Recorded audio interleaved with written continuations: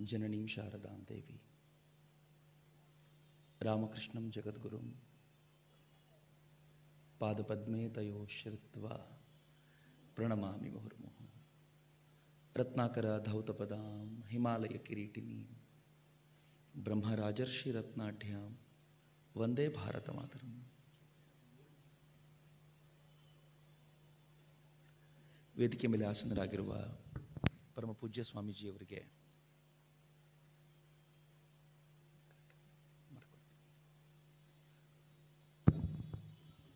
ಭಕ್ತಿಪೂರ್ವಕ ಪ್ರಣಾಮಗಳು. ವೇದಿಕೆ ಮೇಲೆ ಆಸನರಾಗಿರುವ ಎಲ್ಲ ಆದರಣೀಯ ಗಣ್ಯರಿಗೆ ಈ ಕಾರ್ಯಕ್ರಮದಲ್ಲಿ ಭಾಗವಹಿಸಿರುವಂಥ ಎಲ್ಲ ಹಿರಿಯರಿಗೆ ನಾನು ಶ್ರದ್ಧಾಪೂರ್ವಕ ನಮನಗಳನ್ನು ಸಮರ್ಪಿಸ್ತೇನೆ. ಇಂದು ರಾಮಕೃಷ್ಣರ ಜಯಂತಿ. ಬಹಳ ಜನ ರಾಮಕೃಷ್ಣರ ಭಕ್ತರೇ ಇಲ್ಲಿ ಸೇರಿದ್ದೀರಿ. ತುಂಬ ಪ್ರೀತಿಯಿಂದ ಆಗಮಿಸಿ ರಾಮಕೃಷ್ಣರ ಕೃಪಾ ಕಟಾಕ್ಷಕ್ಕೆ ಪಾತ್ರರಾಗಬೇಕು ಅಂತ ಭಾವಿಸಿದ್ದೀರಿ. ಭಾಳ ಸಂತೋಷ. ಮಿತ್ರ ಈಗ ತಾನೇ ಸಂತೋಷ್ ಹೇಳಿದಂತೆ ರಾಮಕೃಷ್ಣರು ದೇವರು ಅಂತ ತಾವೆಲ್ಲೂ ಹೇಳ್ಕೊಳ್ಳಿಲ್ಲ.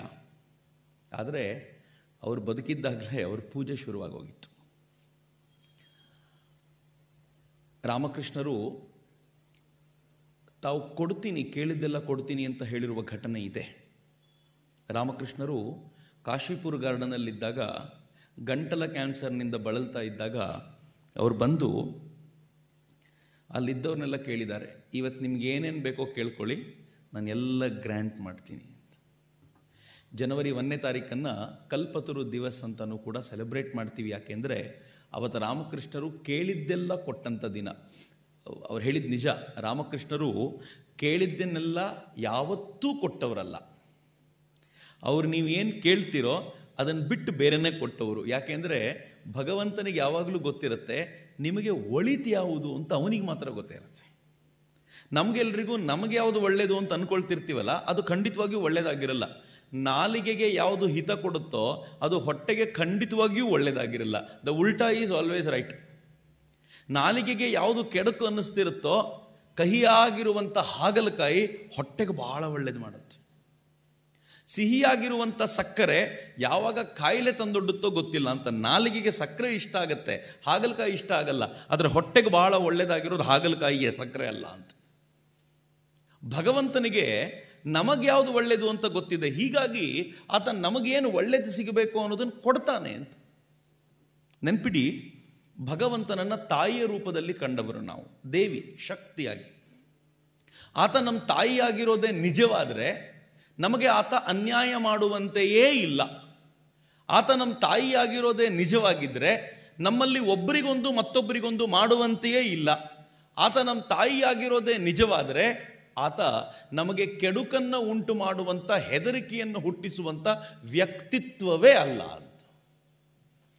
ಒಂದು ದೌರ್ಭಾಗ್ಯದ ಸಂಗತಿ ಹೆಂಗಿದೆ ಅಂತಂದರೆ ತುಂಬ ಟಿ ವಿ ನೋಡೋದ್ರಿಂದ ತುಂಬ ಜ್ಯೋತಿಷ್ಯದ ಕಾರ್ಯಕ್ರಮಗಳನ್ನು ನಾವೆಲ್ಲ ನೋಡೋದರಿಂದ ದೇವರು ಅಂದರೆ ಹೆದರಿಕೆಯ ಸಂಗತಿ ಆಗ್ಬಿಟ್ಟಿದೆ ನಾವು. ಅವರು ಪ್ರತಿನಿತ್ಯ ಜ್ಯೋತಿಷ್ಯದಲ್ಲಿ ಹೇಳ್ತಾರೆ, ನಿಮ್ಮ ರಾಶಿಗೆ ಇವತ್ತು ಇಂಥ ಗ್ರಹ ಬಂದ್ಬಿಟ್ಟಿದೆ, ಹೀಗಾಗಿ ನಿಮ್ಗೆ ಈ ಥರದೊಂದು ಸಮಸ್ಯೆ ಉಂಟಾಗುತ್ತೆ, ದೇವರು ಈ ಥರ ಶಾಪ ಕೊಡ್ತಾನೆ, ದೇವರು ಈ ಥರ ಕಷ್ಟ ಕೊಡ್ತಾನೆ ಏನು ನಾನ್ಸೆನ್ಸ್ ಕಷ್ಟ ಕೊಡುವವನ್ನ ದೇವರು ಅಂತ ತಿಳ್ಕೊಳ್ಳೇಬೇಡಿ ಅಂತ. ದೇವರು ಯಾವತ್ತು ನಮ್ಮನ್ನ ಉದ್ಧಾರ ಮಾಡಲಿಕ್ಕೋಸ್ಕರ ಹಾತೊರಿತಾ ಇರ್ತಾನೆ ಅನ್ನೋದನ್ನ ಮನಸ್ಸಿನಲ್ಲಿ ದೃಢವಾಗಿರಿಸಿಕೊಳ್ಳಿ. ಹೀಗಾಗಿ ಅವನು ಹೇಳಿದಂತೆ ಶ್ರದ್ಧೆಯಿಂದ ನಡೆಯೋದಷ್ಟೇ ಕೆಲಸ ನಮ್ಮದು. ರಾಮಕೃಷ್ಣರು ಒಂದು ಸುಂದರವಾದ ಮಾತು ಹೇಳ್ತಾರೆ, ದೇವರಿಗೆ ಸರೆಂಡರ್ ಆಗೋದನ್ನು ಕಲಿಬೇಕು ಎಲ್ಲರೂ ಅಂತ. ಆಗ ಆತ ಏನು ಬೇಕಿದ್ರೂ ಭಾಳ ಬೇಗ ಕೊಡ್ತಾನೆ ಅಂತ. ಸರೆಂಡರ್ ಆಗೋದು ಅಂದರೆ ಏನು? ಸರೆಂಡರ್ ಆಗೋದು ಅಂತಂದರೆ ನನ್ನದೆಲ್ಲವನ್ನೂ ದೇವರಿಗೆ ಸಮರ್ಪಿಸುವುದು ಅಂತ, ಭಗವಂತನಿಗೆ ಸಮರ್ಪಿಸುವುದು ಅಂತ. ಹಾಗೆ ಭಗವಂತನಿಗೆ ಸಮರ್ಪಿಸುವಾಗ ಹೇಗೆ ಸಮರ್ಪಿಸಬೇಕು ಅನ್ನೋದಕ್ಕೆ ರಾಮಕೃಷ್ಣರು ಎರಡು ಉದಾಹರಣೆಗಳನ್ನು ಕೊಡ್ತಾರೆ. ಚೆನ್ನಾಗಿ ನೆನಪಲ್ಲಿ ಇಟ್ಕೊಳ್ಳಿ ಭಾಳ ಜನ ಕೇಳಿರ್ಬೋದು, ಆದರೆ ಮತ್ತೆ ಮತ್ತೆ ಕೇಳಿದಷ್ಟು ಭಾಳ ಹೆಮ್ಮೆ ಅನಿಸುತ್ತೆ. ಸಮರ್ಪಣೆಯಾಗಲಿಕ್ಕೂ, ಭಗವಂತನಿಗೆ ನಮ್ಮನ್ನು ನಾವು ಅರ್ಪಿಸಿಕೊಳ್ಳಿಕ್ಕೂ ಎರಡು ಮಾರ್ಗ ಇದೆ. ಮೊದಲನೇದು, ಕೋತಿಯ ಮಾರ್ಗ, ಇನ್ನೊಂದು ಬೆಕ್ಕಿನ ಮಾರ್ಗ ಅಂತ. ರಾಮಕೃಷ್ಣರು ಹೇಳೋದ್ರಷ್ಟ ಅಂತ ಇದು. ರಾಮಕೃಷ್ಣರು ಹೇಳ್ತಾರೆ, ಕೋತಿ ಥರ ದೇವರಿಗೆ ಸಮರ್ಪಣೆ ಮಾಡಿಕೊಂಡ್ರೆ ಹೇಗಿರುತ್ತೆ ಅಂತಂದರೆ, ಕೋತಿಯ ಮರಿಯನ್ನು ನೀವು ನೋಡಿರಬೇಕು, ತಾಯಿಯ ಹೊಟ್ಟೆಯನ್ನು ಗಟ್ಟಿಯಾಗಿ ಹಿಡ್ಕೊಂಡಿರುತ್ತದು ಹೀಗಾಗಿ ತಾಯಿ ಕೋತಿ ತನ್ನ ಮಗು ತನ್ನ ಹೊಟ್ಟೆಯನ್ನು ಗಟ್ಟಿಯಾಗಿ ಹಿಡ್ಕೊಂಡಿರುವಾಗ ಒಂದು ಮರದಿಂದ ಮತ್ತೊಂದು ಮರಕ್ಕೆ ಹಾರಬೇಕಾದಾಗ ಈ ಮರಿ ಕೋತಿ ಬೀಳುವ ಚಾನ್ಸಸ್ ಜಾಸ್ತಿ ಇರುತ್ತೆ. ಅನೇಕ ಬಾರಿ ಅದು ಮೇಲಿಂದ ಕೆಳಕ್ಕೆ ಬಿದ್ದಾಗ ತಾಯಿ ಕೋತಿ ಮತ್ತೆ ಬಂದು ಮತ್ತೆ ಮರಿ ಹಿಡ್ಕೊಳ್ಳುತ್ತೆ ಮತ್ತು ಹೋಗೋದನ್ನು ನಾವು ನೋಡಿದ್ದೇವೆ. ಈ ಥರ ದೇವರಿಗೆ ಸಮರ್ಪಣೆಯಾಗೋರು ಕೆಲವರು ಇರ್ತಾರೆ. ಇನ್ನೂ ಕೆಲವರು ಇರ್ತಾರೆ, ಬೆಕ್ಕಿನ ಥರ ಇರ್ತಾರೆ ಅಂತ. ಬೆಕ್ಕಿನ ಥರ ಅಂದರೆ ಹೆಂಗೆ ಗೊತ್ತಾ? ಭಗವಂತ, ನಿನ್ನನ್ನು ಹಿಡ್ಕೊಳ್ಳೋಕೆ ತಾಕತ್ತು ನನಗಿಲ್ಲ. ನನ್ನ ಅಮ್ಮ ನೀನು, ನೀನೇ ಅದು ಹೆಂಗೆ ಹಿಡ್ಕೋತೀಯ ನೋಡಪ್ಪ ಅಂತ ಬಿಟ್ಬಿಟ್ರೆ ಆ ಬೆಕ್ಕು ತನ್ನ ಮರಿಯನ್ನ ತಾನೇ ತನ್ನ ಹಲ್ಲುಗಳಿಂದ ಕುತ್ತಿಗೆಯನ್ನು ಹಿಡ್ಕೊಂಡು ಎಲ್ಲ ಕಡೆ ತಿರುಗಾಡಿಸುತ್ತಂತೆ. ಎಲ್ಲಿ ಬೇಕೋ ಅಲ್ಲಿ ಕಾಪಾಡುವ ಕಾಪಾಡಿಡುವಂಥ ಪ್ರಯತ್ನ ಮಾಡುತ್ತೆ ಅಂತ ರಾಮಕೃಷ್ಣರು ಮುಂದುವರಿಸಿ ಹೇಳ್ತಾರೆ. ಕೋತಿ ಥರ ಹಿಡ್ಕೊಂಡಿದ್ದಾದರೆ ಬೀಳುವ ಸಾಧ್ಯತೆ ಇದೆ. ಬೆಕ್ಕಿನ ಥರ ಸರೆಂಡರ್ ಆಗಿಬಿಟ್ರೆ ಬೀಳುವ ಪ್ರಮೇಯವೇ ಇಲ್ಲ ಯಾಕೆ ಅಂದರೆ ತಾಯಿನೇ ಹಲ್ಲು ಕಚ್ಚಿ ಹಿಡ್ಕೊಂಡಿರ್ತಾಳಲ್ಲ. ಹಿಂಗೆ ಸರೆಂಡರ್ ಆಗಲಿಕ್ಕೆ ಸಾಧ್ಯವಾ ಅಂತ. ಏ, ನಾವು ಸರೆಂಡರ್ ಆಗ್ತೀವಿ ಅಂತ ನಮ್ಗೆ ಅನ್ನಿಸ್ಬಿಡತ್ತೆ. ಆದರೆ ನಾವು ಹೆಂಗಿದ್ದೀವಿ ಗೊತ್ತೇನು? ಯಾರಾದರೂ ಹೊಗಳಿದಾಗ ಕಾಲರ್ ಟೈಟ್ ಮಾಡ್ಕೊಳ್ಳೋದು ನಾನೇ ಮಾಡಿದ್ದು ಅಂತ. ಯಾರಾದರೂ ಬೈದ ತಕ್ಷಣ ದೇವ್ರ ಕಡೆ ತಿರುಗಿ, ಏನಿದು? ಹಿಂಗೆ ಮಾಡಿಬಿಟ್ಟೆ ನೀನು. ನೀನು ನಿನ್ನ ನಿಷ್ಠ ಪೂಜೆ ಮಾಡಿದ್ದೀನಿ ನನ್ನನ್ನು ಬಯಸೋದ ಯಾರ ಹತ್ರನೋ? ನನಗೆ ಕೆಡುಕೊಂತರೋದ ಒಳ್ಳೇದು ಬಂದಾಗ ಒಂದು ದಿನ ದೇವರಿಗೆ ಹೇಳಲಿಲ್ಲ. ಒಳ್ಳೇದು ಬಂದಾಗ ಒಂದು ದಿನ ಥ್ಯಾಂಕ್ಸ್ ಅಂತ ಹೇಳಲಿಲ್ಲ ದೇವರಿಗೆ. ಭಾಳ ಮಜವಾಗಿರುವಂಥ ಸಂಗತಿ ಇದು. ನನಗಿದು ಯಾವಾಗ ತುಂಬ ಪ್ರಜ್ಞೆ ಬಂತು ಅಂತಂದರೆ ಕಳೆದ ಕೆಲವು ತಿಂಗಳುಗಳ ಹಿಂದೆ ಒಂದು ಕೆಟ್ಟ ಕಾಯಿಲೆ ಬಂತು. ವಿಚಿತ್ರವಾದ ಕಾಯಿಲೆ ಅದು. ಅದನ್ನು ವೆರ್ಟಿಗೋ ಅಂತ ಕರೀತಾರೆ. ವೆರ್ಟಿಗೋ ಅಂತ ಕಾಯಿಲೆ ಅಂತ ನಿಮ್ಗೆ ಗೊತ್ತಾದರೆ ಪುಣ್ಯ, ಅರ್ಧ ಭಾಗ ಸಾಲ್ವ್ ಆಗುತ್ತೆ. ಇಲ್ಲದೆ ಹೋದರೆ ಭಾಳ ಕಷ್ಟ. ಪ್ರಾಬ್ಲಮ್ ಏನು ಗೊತ್ತೇನದು? ನೀವು ನಿಂತ್ಕೊಂಡ್ರೆ ತಲೆ ಸುತ್ತಾ ಇರುತ್ತೆ. ತಲೆ ಹೇಗೆ ಸುತ್ತುತ್ತೆ ಅಂತಂದ್ರೆ, ನೀವು ನಿಂತಿರೋ ಜಾಗದಿಂದ ಕಾಲ್ ಪಕ್ಕಕ್ಕಿಟ್ರೆ, ಇಡೀ ಭೂಮಿಯೇ ನಿಮ್ಮ ತಲೆ ಮೇಲೆ ಬಿತ್ತು ಅಂತ ಅನಿಸ್ಲಿಕ್ಕೆ ಶುರುವಾಗ್ಬಿಡುತ್ತೆ ನನಗೆ ಮೊದಲನೇ ದಿನ ಈ ಪ್ರಾಬ್ಲಮ್ ಶುರುವಾದಾಗ ಎರಡನೇ ದಿನ ಕಡಿಮೆ ಆಗ್ಬೋದು ಅನ್ಕೊಂಡೆ, ಆಗಲಿಲ್ಲ. ಮೂರನೇ ದಿನವೂ ಕಡಿಮೆ ಆಗಲಿಲ್ಲ. ನಾಲ್ಕನೇ ದಿನ ವಿರಿಟಿಗೋ ಅಂತ ಗೊತ್ತಾದ್ಮೇಲೆ ಅದಕ್ಕೆ ಬೇಕಾಗಿರೋ ಎಕ್ಸರ್ಸೈಸ್ ಶುರು ಮಾಡಿದೆ. ಆಮೇಲೆ ಯಾರೋ ಒಬ್ರು ಹೇಳಿದ್ರು, ಕೆಲವೊಂದ್ಸಲ ಈ ವಿರಿಟಿಗೋ ಕಾಯಿಲೆ ಒಂದು ತಿಂಗಳಿರುತ್ತೆ, ಒಂದು ವರ್ಷ ಇರುತ್ತೆ, ಕೆಲವೊಂದ್ಸಲ ಜೀವನ ಪರ್ಯಂತ ಇರುತ್ತೆ ಅಂತ. ನಾನು ಸತ್ತೇ ಹೋದೆ ಅನ್ಕೊಂಡೆ ನಾನು. ನಾನು ಕೂತಾಗೆಲ್ಲ ದೇವ್ರಿಗೆ ಹೇಳ್ಕೊಳ್ತಿದ್ದೆ, ಹೇ ಭಗವಂತ, ಯಾಕೆ ಈ ಕಾಯಿಲೆ ತಂದಿಟ್ಟೆ ನನಗೆ? ಎಲ್ಲ ಬಿಟ್ಟು ತಲೆ ಸುತ್ತೋದು. ಜನ ಏನು ಹೇಳ್ಬೋದು? ಚಕ್ರವರ್ತಿ ತಲೆ ನೆಟ್ಟಿಗಿಲ್ಲ ಅಂತಂದ್ರೆ ಏನು ಕರ್ಮ ಇದು? ನಾನಂದೆ ಎಂಥ ಕೆಲಸ ಮಾಡ್ತಿದ್ಯಾ ನೀನು? ಏನು ಮಾಡ್ತಿದ್ಯಾ? ಅಂತ. ಐದು ದಿನಕ್ಕೆ ಬೆಟ್ಟಿಗೂ ಹೋಯ್ತು. ಡಾಕ್ಟರ್ ವಾಸ್ ಶಾಕ್ ಇಷ್ಟು ಬೇಗನೆ ಹೋಗುತ್ತೆ ಅಂದ್ಕೊಂಡಿರಲಿಲ್ಲ ಅಂತ. ಅದು ಹೋದಾಗ ನಾನು ಅಂದ್ಕೊಂಡೆ ಆ ಕಾಯಿಲೆ ಬಂದಾಗ ಪ್ರತಿದಿನ ಪ್ರತಿಕ್ಷಣ ನೀನನ್ನು ಬೈದೆ, ಕಾಯಿಲೆ ಹೋದಾಗ ಥ್ಯಾಂಕ್ಸ್ ಅಪ್ಪ, ಈ ರೋಗ ಕಳಿಸ್ಬಿಟ್ಟಿಯಲ್ಲ ಅಂತ ಒಂದು ದಿನ ನಿಂಗೆ ಥ್ಯಾಂಕ್ಸ್ ಹೇಳಬೇಕು ಅಂತ ಅನ್ನಿಸ್ಲಿಲ್ವಲ್ಲ? ಏನು ಕೃತಜ್ಞನಪ್ಪ ನಾನು ಅಂತ. ಯಾವತ್ತಾದರೂ ಅಯಾಚಿತವಾಗಿ ಆದರೂ ನಮಗೆ ಒಳಿತಾದ ತಕ್ಷಣ ಇದು ನಿನ್ನ ಕಾರಣಕ್ಕೆ ಅಂತ ಅನ್ಸುತ್ತಲ್ಲ? ಆಗ ಏನಾದರೂ ಕೆಡುಕಾದಾಗಲೂ ಅವನಿಗೆ ಸಮರ್ಪಣೆ ಮಾಡುವಂಥ ಅಧಿಕಾರ ನಮಗಿರುತ್ತೆ ಅಂತ. ಆದರೆ ದುರ್ದೈವವಶಾತ್ ನಾವು ಹೇಗೆ ಇನ್ವಾಲ್ವ್ ಆಗಿದ್ದೀವಿ ಅಂತಂದರೆ, ಅಹಂಕಾರದಿಂದ ಹೇಗೆ ಬೆಸೆದ್ಕೊಂಡು ಬಿಟ್ಟಿದ್ದೀವಿ ಅಂತಂದರೆ, ಒಳ್ಳೇದು ಮಾಡಿದ್ದೆಲ್ಲ ನಾನು, ಕೆಡುಕು ಉಂಟಾಗಿದ್ದೆಲ್ಲ ಭಗವಂತನಿಂದ ಅಂತ ಭಾವಿಸುವಂಥ ಒಂದು ಪರಂಪರೆ ಇರೋದ್ರಿಂದಲೇ ನಮ್ಮ ಸಮರ್ಪಣೆ ಕಂಪ್ಲೀಟ್ ಆಗಲಿಲ್ಲ ಅಂತ. ಅದಕ್ಕೆ ರಾಮಕೃಷ್ಣರು ಹೇಳ್ತಾರೆ, ಈ ಸಮರ್ಪಣೆಯನ್ನು ಕಂಪ್ಲೀಟ್ ಮಾಡ್ಕೊಳ್ಳುವಂಥ ಅಭ್ಯಾಸ ಆಗಬೇಕು ಅಂತ. ಈ ಅಭ್ಯಾಸ ಎಲ್ಲಿಂದ ಶುರುವಾಗುತ್ತೆ ಗೊತ್ತೇನು? ಸತ್ಸಂಗಗಳಿಂದಲೇ ಶುರುವಾಗುತ್ತೆ. ನನಗೆ ಇವರೆಲ್ಲ ಹೇಳುವಾಗ ಅದೇ ಅನ್ನಿಸ್ತಿತ್ತು. ಸತ್ಸಂಗಕ್ಕೆ ಹೆಚ್ಚು ಹೆಚ್ಚು ಜನ, ಹೆಚ್ಚು ಹೆಚ್ಚು ಬಾರಿ ಹೋದಷ್ಟು, ನಾನು ಜನ ಹೆಚ್ಚಿರಬೇಕು ಅಂತ ಯಾವತ್ತೂ ಕೇಳ್ಕೊಳ್ಳಲ್ಲ, ಹೆಚ್ಚು ಹೆಚ್ಚು ಬಾರಿ ಸತ್ಸಂಗಕ್ಕೆ ಹೋದಷ್ಟು ಮನಸ್ಸು ಪರಿಶುದ್ಧಗೊಳ್ಳಿಕ್ಕೆ ಶುರುವಾಗುತ್ತೆ. ಯಾವ ಮನಸ್ಸನ್ನು ಶುದ್ಧಗೊಳಿಸಲಿಕ್ಕೆ ನೀವು ಮನೆಯಲ್ಲಿ ಇದ್ಕೊಂಡು ನಿಮ್ಮ ನಿಮ್ಮ ಕೆಲಸದಲ್ಲಿ ಇದ್ಕೊಂಡು ಹದಿನೈದು ವರ್ಷ, ಇಪ್ಪತ್ತು ವರ್ಷ ಪ್ರಯತ್ನ ಪಡಬೇಕೋ? ಸತ್ಸಂಗದಲ್ಲಿ ಒಂದು ಗಂಟೆಯಲ್ಲಿ ಇಡೀ ಮನಸ್ಸು ಶುದ್ಧಿಯಾಗುವಂಥ ವಾತಾವರಣ ನಿರ್ಮಾಣ ಆಗುತ್ತಲ್ಲ? ಇದು ಸತ್ಸಂಗದ ಅತ್ಯಂತ ಶ್ರೇಷ್ಠವಾದ ಸಂಗತಿ ಅಂತ. ಏನಾಗುತ್ತೆ ಸತ್ಸಂಗದಲ್ಲಿ ಅಂತ ನಾನು ತುಂಬ ಬಾರಿ ಯೋಚನೆ ಮಾಡ್ತಿರ್ತೀನಿ. ನಾನು, ನೀವು ಹೀಗೆಲ್ಲ ಮಾತಾಡ್ತಿರುವಾಗ ನಮ್ಮೆಲ್ಲರ ಮನಸ್ಸು ಒಂದು ಕಡೆ ಕಾನ್ಸಂಟ್ರೇಟ್ ಆಗಿರುತ್ತೆ. ಈ ಮನಸ್ಸಿನ ಶಕ್ತಿ ಇದೆಯಲ್ಲ? ವಿಚಿತ್ರವಾಗಿರುವಂಥದ್ದು. ಇದು ಹೆಂಗಿದೆ ಅಂತಂದ್ರೆ ಕಣ್ಣಿಗೆ ಕಾಣದ ಮನಸ್ಸು. ಇವತ್ತು ನಾವು ಮಾತಾಡ್ತಿರುವಾಗ ಅವ್ರು ಹೇಳ್ತಿದ್ರು, ಈ ಈ ವಿಜ್ಞಾನ ಹೇಗಿದೆ ಅಂತಂದ್ರೆ ವಿಜ್ಞಾನ ಎಷ್ಟರ ಮಟ್ಟಿಗಿದೆ, ವಿಜ್ಞಾನ ಹೇಳಿದ್ದೆಲ್ಲವನ್ನು ಸತ್ಯ ಅಂತ ನಂಬುವಂತ ನಾವು ವಿಜ್ಞಾನಿಗಳಿಗೆ ಯಾವತ್ತೂ ಪ್ರಶ್ನೆಯನ್ನೇ ಕೇಳಲಿಲ್ಲ. ಸೂರ್ಯ ಭೂಮಿ ಭೂಮಿ ಸೂರ್ಯನ ಸುತ್ತ ತಿರುಗುತ್ತೆ ನಿಜಾಪ ಆದರೆ ಭೂಮಿ ಇಷ್ಟೇ ದೂರ ನಿಂತ್ಕೊಂಡು ಸೂರ್ಯನ ಸುತ್ತ ಯಾಕೆ ಸುತ್ತುತ್ತೆ ಅಂತ ಕೇಳಿದರೆ ಅವ್ರು ಹೇಳ್ತಾರೆ ಇಟ್ಸ್ ಆಕ್ಸಿಡೆಂಟ್ ಗೊತ್ತೇ ಇಲ್ಲ ಅವರಿಗೆ. ಭೂಮಿಗೆ ಗುರುತ್ವಾಕರ್ಷಣ ಶಕ್ತಿ ಇರೋದ್ರಿಂದ ಕಲ್ಲು ಮೇಲಿಂದ ಕೆಳಕ್ಕೆ ಬೀಳುತ್ತೆ. ಸೈನ್ಸ್ ಇಸ್ ರೈಟ್ ಆದರೆ ಭೂಮಿಗೆ ಗುರುತ್ವಾಕರ್ಷಣ ಶಕ್ತಿ ಯಾಕಿದೆ? ಸೈನ್ಸ್ ಹೇಳುತ್ತೆ ಇಟ್ಸ್ ಅನ್ ಆಕ್ಸಿಡೆಂಟ್ ನಾನು ಸುಮ್ಮನೆ ಕುಳಿತುಕೊಂಡು ಆಲೋಚನೆ ಮಾಡ್ತಿದ್ದೆ, ಒಂದಿನ ನನ್ನ ದೇಹದೊಳಗಿನ ಅಂಗಾಂಗಗಳು ಏನು ಅದ್ಭುತವಾಗಿ ಕೆಲಸ ಮಾಡ್ತವೆ ಅಂತಂದರೆ ಒಂದಕ್ಕೊಂದು ಪೂರಕವಾಗಿ ದುಡಿತವೆ.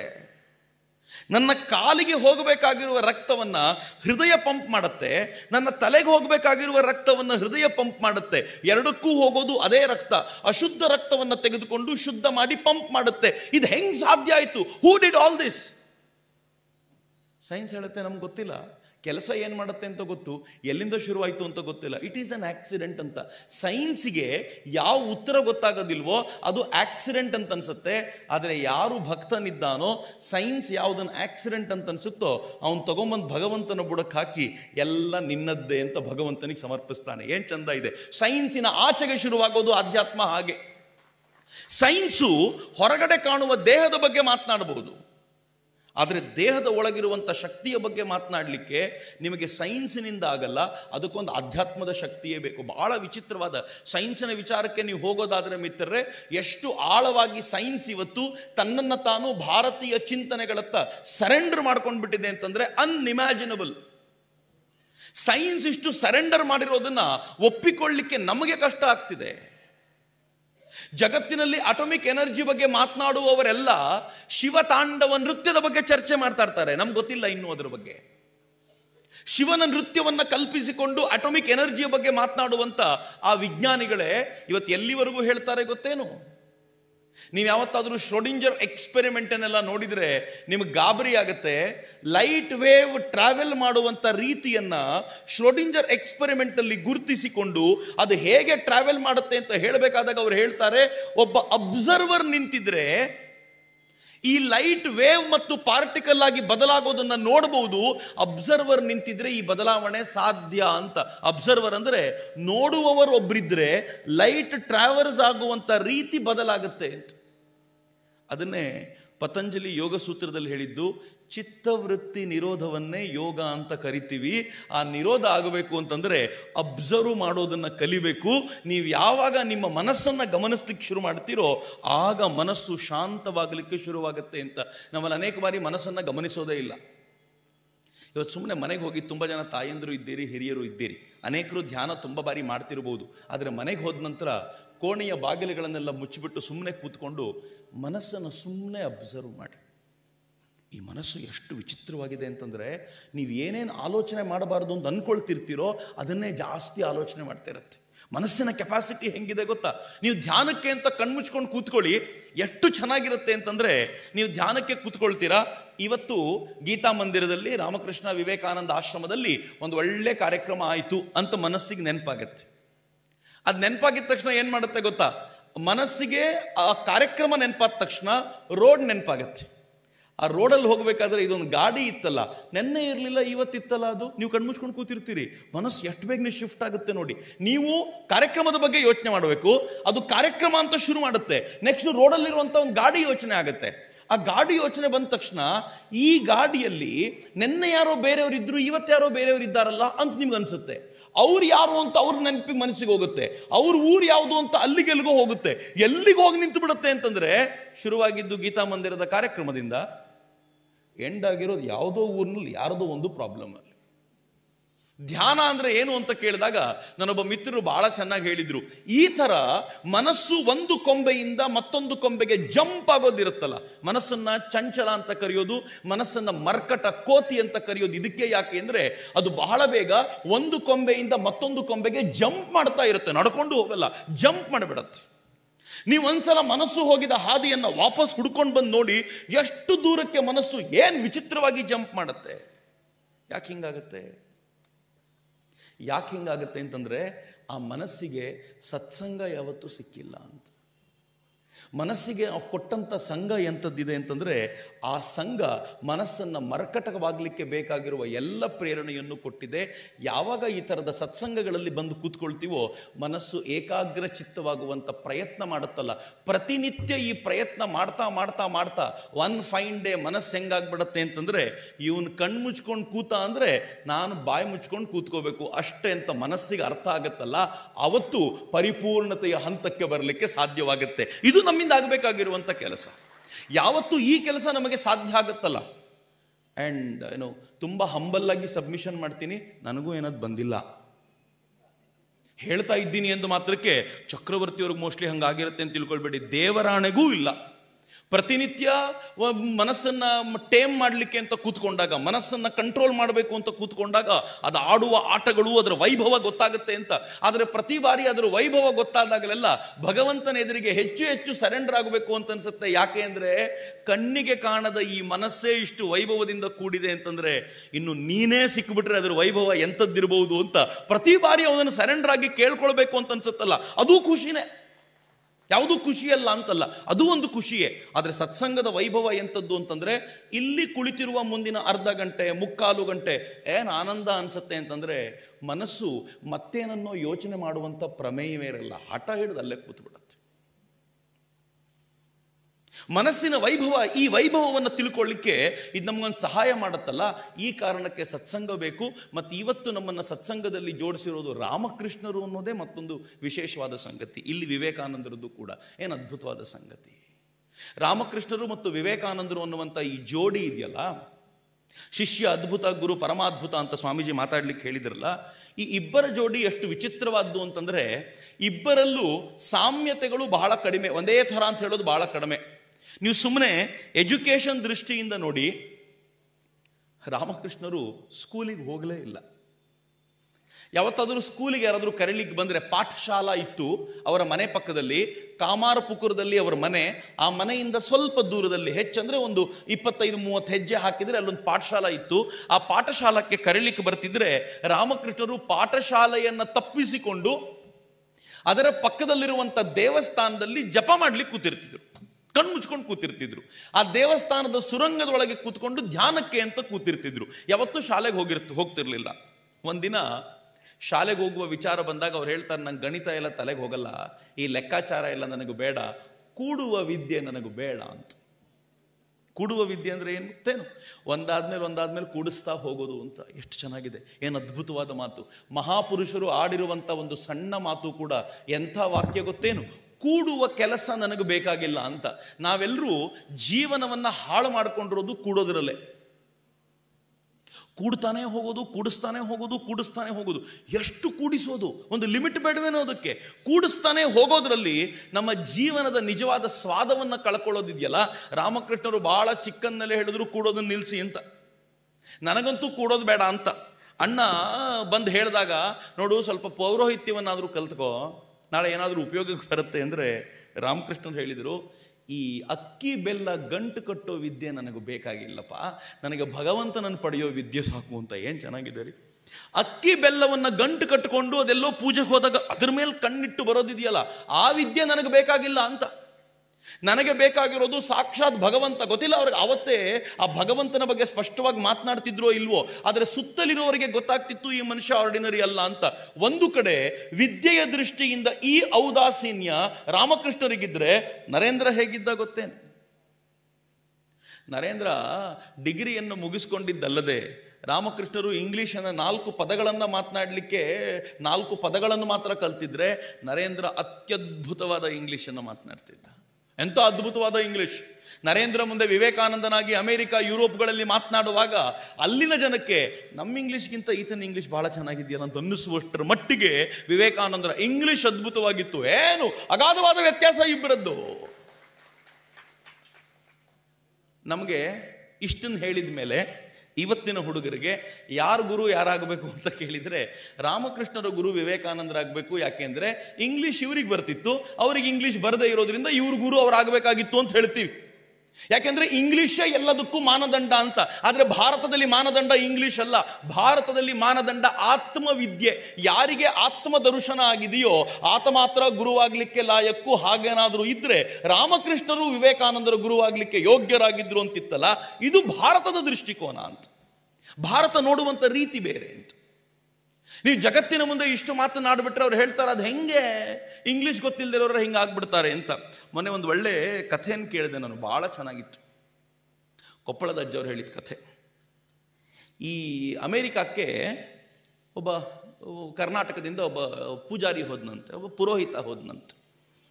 ಆ ಪುರೋಹಿತ ಅಲ್ಲಿಗೆ ಹೋಗಿ ಅದ್ಭುತವಾಗಿ ಪೌರೋಹಿತ್ಯ ಪೂಜೆ ಮಾಡ್ತಿದ್ದ ದೇವರ ದೊಡ್ಡ ದೇವಸ್ಥಾನದಲ್ಲಿ ಪೂಜೆಗೆ ಮಾಡಲಿಕ್ಕೆ ಅಂತ ಇಂಟರ್ವ್ಯೂ ಮಾಡಿದ್ರು ಅವನನ್ನ. ಇಂಟರ್ವ್ಯೂ ಮಾಡಿದ ನಂತರ ಕೇಳಿದ್ರು, ಪೂಜೆ ಎಲ್ಲ ಎಲ್ಲ ಆಗಮ ಗೊತ್ತು, ಎಲ್ಲ ಶಾಸ್ತ್ರಗಳು ಗೊತ್ತು, ಅದ್ಭುತವಾಗಿ ಪೂಜೆ ಮಾಡ್ತೀನಿ, ಎಲ್ಲ ಹೇಳಿದರು. ಕೊನೆ ಕೇಳಿದ್ರು ಇಂಗ್ಲೀಷ್ ಬರುತ್ತಾ? ಈ ಸೈಡ್ ಇಂಗ್ಲೀಷ್ ಬರಲ್ಲ. ಸಂಸ್ಕೃತ ಚೆನ್ನಾಗಿ ಬರುತ್ತೆ. ಇಂಗ್ಲೀಷ್ ಬರಲ್ಲ ಅಂದರೆ ಹೆಂಗೆ ಕೊಡೋದು? ಭಕ್ತರೆಲ್ಲ ಇಂಗ್ಲೀಷ್ನವ್ರು ಬರ್ತಾರೆ. ಇಂಗ್ಲೀಷ್ನಲ್ಲಿ ಮಾತನಾಡ್ಲಿಕ್ಕೆ ಆಗಲ್ಲ ಅಂದ್ರೆ ನಿಮ್ಗೆ ಸಾಧ್ಯ ಆಗಲ್ಲ. ಹೀಗಾಗಿ ನಿಮ್ಮನ್ನು ಕೆಲಸಕ್ಕೆ ತಗೊಳ್ಳಲ್ಲ ಅಂತ ಕೆಲಸದಿಂದ ಬೇಡ ಅಂತ ಹೇಳ್ಬಿಟ್ರು. ಈ ಮನುಷ್ಯ ಏನು ಮಾಡೋದು? ನಾನು ಬಂದ್ಬಿಟ್ಟಿದ್ದೀನಿ ಇನ್ನೇನಾದರೂ ಮಾಡಬೇಕಲ್ಲ ಅಂತ ಅವ್ರು ಏನು ಮಾಡಿದ್ರಂತೆ ಗೊತ್ತಾ?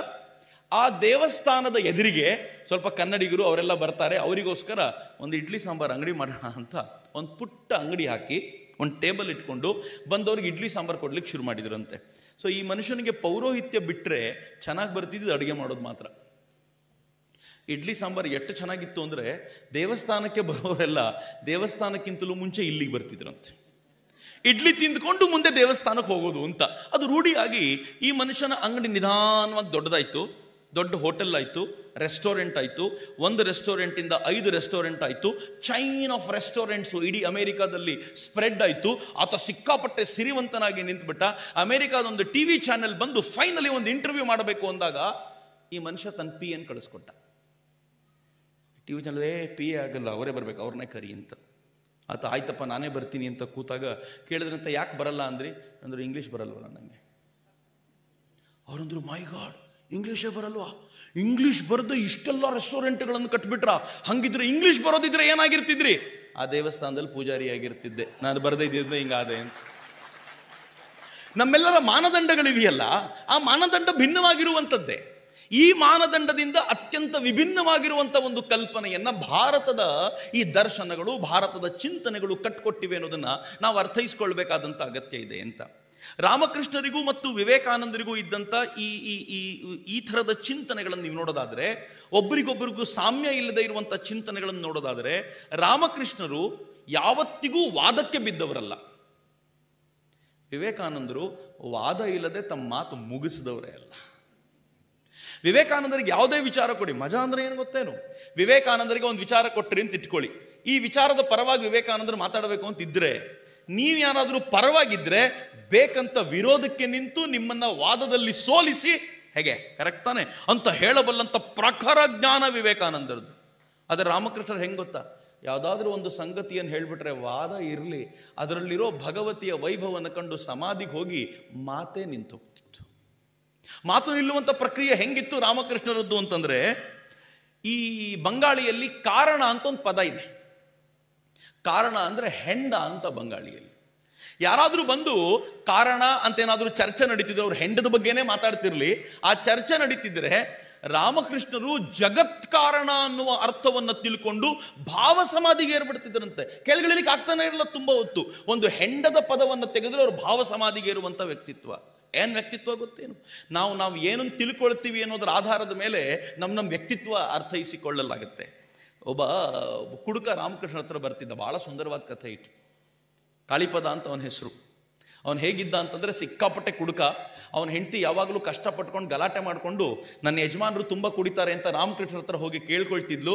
ರಾಮಕೃಷ್ಣರು ನನಗೇನು ಮಾಡೋಕ್ಕಾಗಲ್ಲ, ಶಾರದೆ ಹತ್ರ ಹೋಗು ಅಂತ. ಶಾರದೆ ರಾಮಕೃಷ್ಣರ ಹತ್ರ, ರಾಮಕೃಷ್ಣರ ಅಲ್ಲ ಹತ್ರ ಹಿಂಗೆ ಆಗಿ ಆಗಿ ಕೊನೆಗೆ ಶಾರದೆಗೆ ಬೇಜಾರಾಗಿ, ಅಮ್ಮನಿಗೆ ಬೇಜಾರಾಗಿ ಒಂದು ಚೀಟಿಯಲ್ಲಿ ರಾಮಕೃಷ್ಣ ಅಂತ ಹೆಸರು ಬರೆದು ಮಡಚಿಬಿಟ್ಟು, ಇದು ನಿಟ್ಟು ದೇವ್ರ ಕೋಣೆಯಲ್ಲಿ ಪೂಜೆ ಮಾಡು, ಸರಿ ಹೋಗುತ್ತೆ ಅಂದ್ಬಿಟ್ಟು ಆಕೆ ಶ್ರದ್ಧೆಯಿಂದ ಮಾಡಿದ್ಲು. ಒಂದು ಸ್ವಲ್ಪ ದಿನ ಆದಮೇಲೆ ಗಂಡ ಇವಳ ಜೊತೆಗೆ ದಕ್ಷಿಣೇಶ್ವರಕ್ಕೆ ರಾಮಕೃಷ್ಣರಿದ್ದ ಜಾಗಕ್ಕೆ ಬಂದ, ಸಿಕ್ಕಾಪಟ್ಟೆ ದೊಡ್ಡ ಕುಡುಕ ಅಂತ ಹೇಳಿದ್ನಲ್ಲ, ಅವನು ರಾಮಕೃಷ್ಣ ಹತ್ರ ಹೋಗಬೇಕು ಅಂತ ಹೆಂಡತಿ ಹೇಳಿದ್ಲು ಅಂತ ಕುಡಿದೇ ಬಂದಿದ್ದ ಅವತ್ತು. ರಾಮಕೃಷ್ಣರ ಆ ಕೋಣೆಯ ಎಂಟ್ರಿ ಆಗುವಾಗ ರಾಮಕೃಷ್ಣರು ಪೂರ್ತಿ ಭಾವ ಸಮಾಧಿಯಲ್ಲಿದ್ದರು ಭಾವ ಸಮಾಧಿ ಅಂದರೆ ಹೆಂಗಿರುತ್ತೆ ಅಂತಂದರೆ, ನಾವು ಹೇಳ್ಬೋದಷ್ಟೇ, ಇಮ್ಯಾಜಿನ್ ಮಾಡ್ಕೋಬೋದಷ್ಟೇ, ಹೇಗಿರುತ್ತೆ ಅಂತಂದರೆ ಅವ್ರು ಪೂರ್ತಿ ಭಗವಂತನ ಲೋಕದಲ್ಲೂ ಅಲ್ಲ, ಈ ಲೋಕದಲ್ಲೂ ಅಲ್ಲ, ವಿಶೇಷವಾಗಿ ರಾಮಕೃಷ್ಣರದ್ದು ಭಾವ ಮುಖದಲ್ಲಿರ್ತಿದ್ರು. ಈ ಲೋಕದಲ್ಲಿದ್ದಂತೆ ಅನ್ನಿಸ್ತಿತ್ತು, ಆದರೆ ಸದಾಕಾಲ ಭಗವಂತನಲ್ಲಿ ಮಗ್ನರಾಗಿರಬರ ಬಹುದಾಗಿರುವಂಥ ಸಾಮರ್ಥ್ಯ ಅವರಿಗಿತ್ತು. ಆ ಥರದ ಅಪರೂಪದ ಲೋಕದಲ್ಲಿದ್ದರು ಈತ ಬಂದ ಕಾಳಿಪದ ನೋಡಿದ, ಅಯ್ಯಯ್ಯಪ್ಪ, ನಾನು ಎಷ್ಟು ಕುಡಿದ್ರು ಈ ಲೆವೆಲ್ಗೆ ಏರ್ಲಿಲ್ವಲ್ಲಪ್ಪ ಯಾವಾಗಲೂ ಅಂದ್ಕೊಂಡ ಭಾವನೆಗಳು ಹೆಂಗಿರ್ತಾವೆ ನೋಡ್ರಿ, ಏನು ಮಜವಾಗಿರ್ತವೆ? ಎಷ್ಟು ಕುಡಿದ್ರು ಈ ಲೆವೆಲ್ಲಿಗೆ ಏರ್ಲಿಲ್ವಲ್ಲಪ್ಪ? ನೆಕ್ಸ್ಟ್ ಮನಸ್ಸಲ್ಲಿ ಬಂದಿರಬೇಕು. ಈ ಮನುಷ್ಯನಿಗೆ ವಿದೇಶಿ ಶಿಷ್ಯರು ಭಾಳ ಇದ್ದಾರೆ. ಫಾರಿನ್ ಡ್ರಿಂಕೇ ಇರಬೇಕಿದು ಅಂತ. ಇಟ್ ಇಸ್ ಟ್ರೂ ಅವನು ಹಂಗೆ ಕೇಳಿ ಕೂತ್ಕೊಂಡ ಇವತ್ತೇನೇ ಆಗಲಿ, ಈ ಮನುಷ್ಯನ ಹತ್ರ ಒಂದು ಬಾಟಲ್ ಹೋಗ್ಬೇಕು ಅಂತ. ಭಗವಂತನ ಬಳಿ ಕೆಟ್ಟದ್ದನ್ನು ಕೇಳಿದರೂ ಭಗವಂತ ಒಳ್ಳೇದು ಮಾಡ್ತಾನೆ ಅನ್ನೋದಕ್ಕೆ ಈ ಘಟನೆಗಿಂತ ಉದಾಹರಣೆ ಇಲ್ಲ. ರಾಮಕೃಷ್ಣರು ಭಾವ ಸಮಾಧಿಯಿಂದ ಕೆಳಗಿಳಿದು ನೇರವಾಗಿ ಅವನನ್ನೇ ನೋಡಿದರು. ಹನ್ನೆರಡು ವರ್ಷ ಹೆಂಡತಿಯನ್ನು ಸತಾಯಿಸಿ ಕೊನೆಗೂ ಬಂದ್ಯಾ? ಅಂದರು, ಅವನಿಗೆ ಅದೆಲ್ಲ ಬೇಕಾಗಿಲ್ಲ. ಅವನಿಗೆ ಬೇಕಾಗಿರೋದು ಒಂದು ಬಾಟ್ಲ್ ಅಷ್ಟೇ ಈಗ. ರಾಮಕೃಷ್ಣರು ಕೇಳಿದರು, ಹೋಗಲಿ ಬಂದಿದೆಯಾ? ಏನು ಬೇಕು ಅಂತ ಕೇಳು. ಹಂಗಂದ ತಕ್ಷಣ ಆತ ಹೇಳ್ದ, ಅದೇ, ನೀವು ಕುಡ್ದಿದ್ರಲ್ಲ. ಸ್ವಲ್ಪ.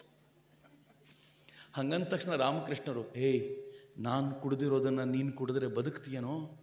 ಅದು ಎಂಥ ಅದ್ಭುತವಾದ ಬ, ಅದೇ ಬೇಕು ನನಗೆ ಎಂದ. ರಾಮಕೃಷ್ಣರು ಹೇಳ್ತಿರೋದು ಅಲೌಕಿಕವಾದ ಭಾವ.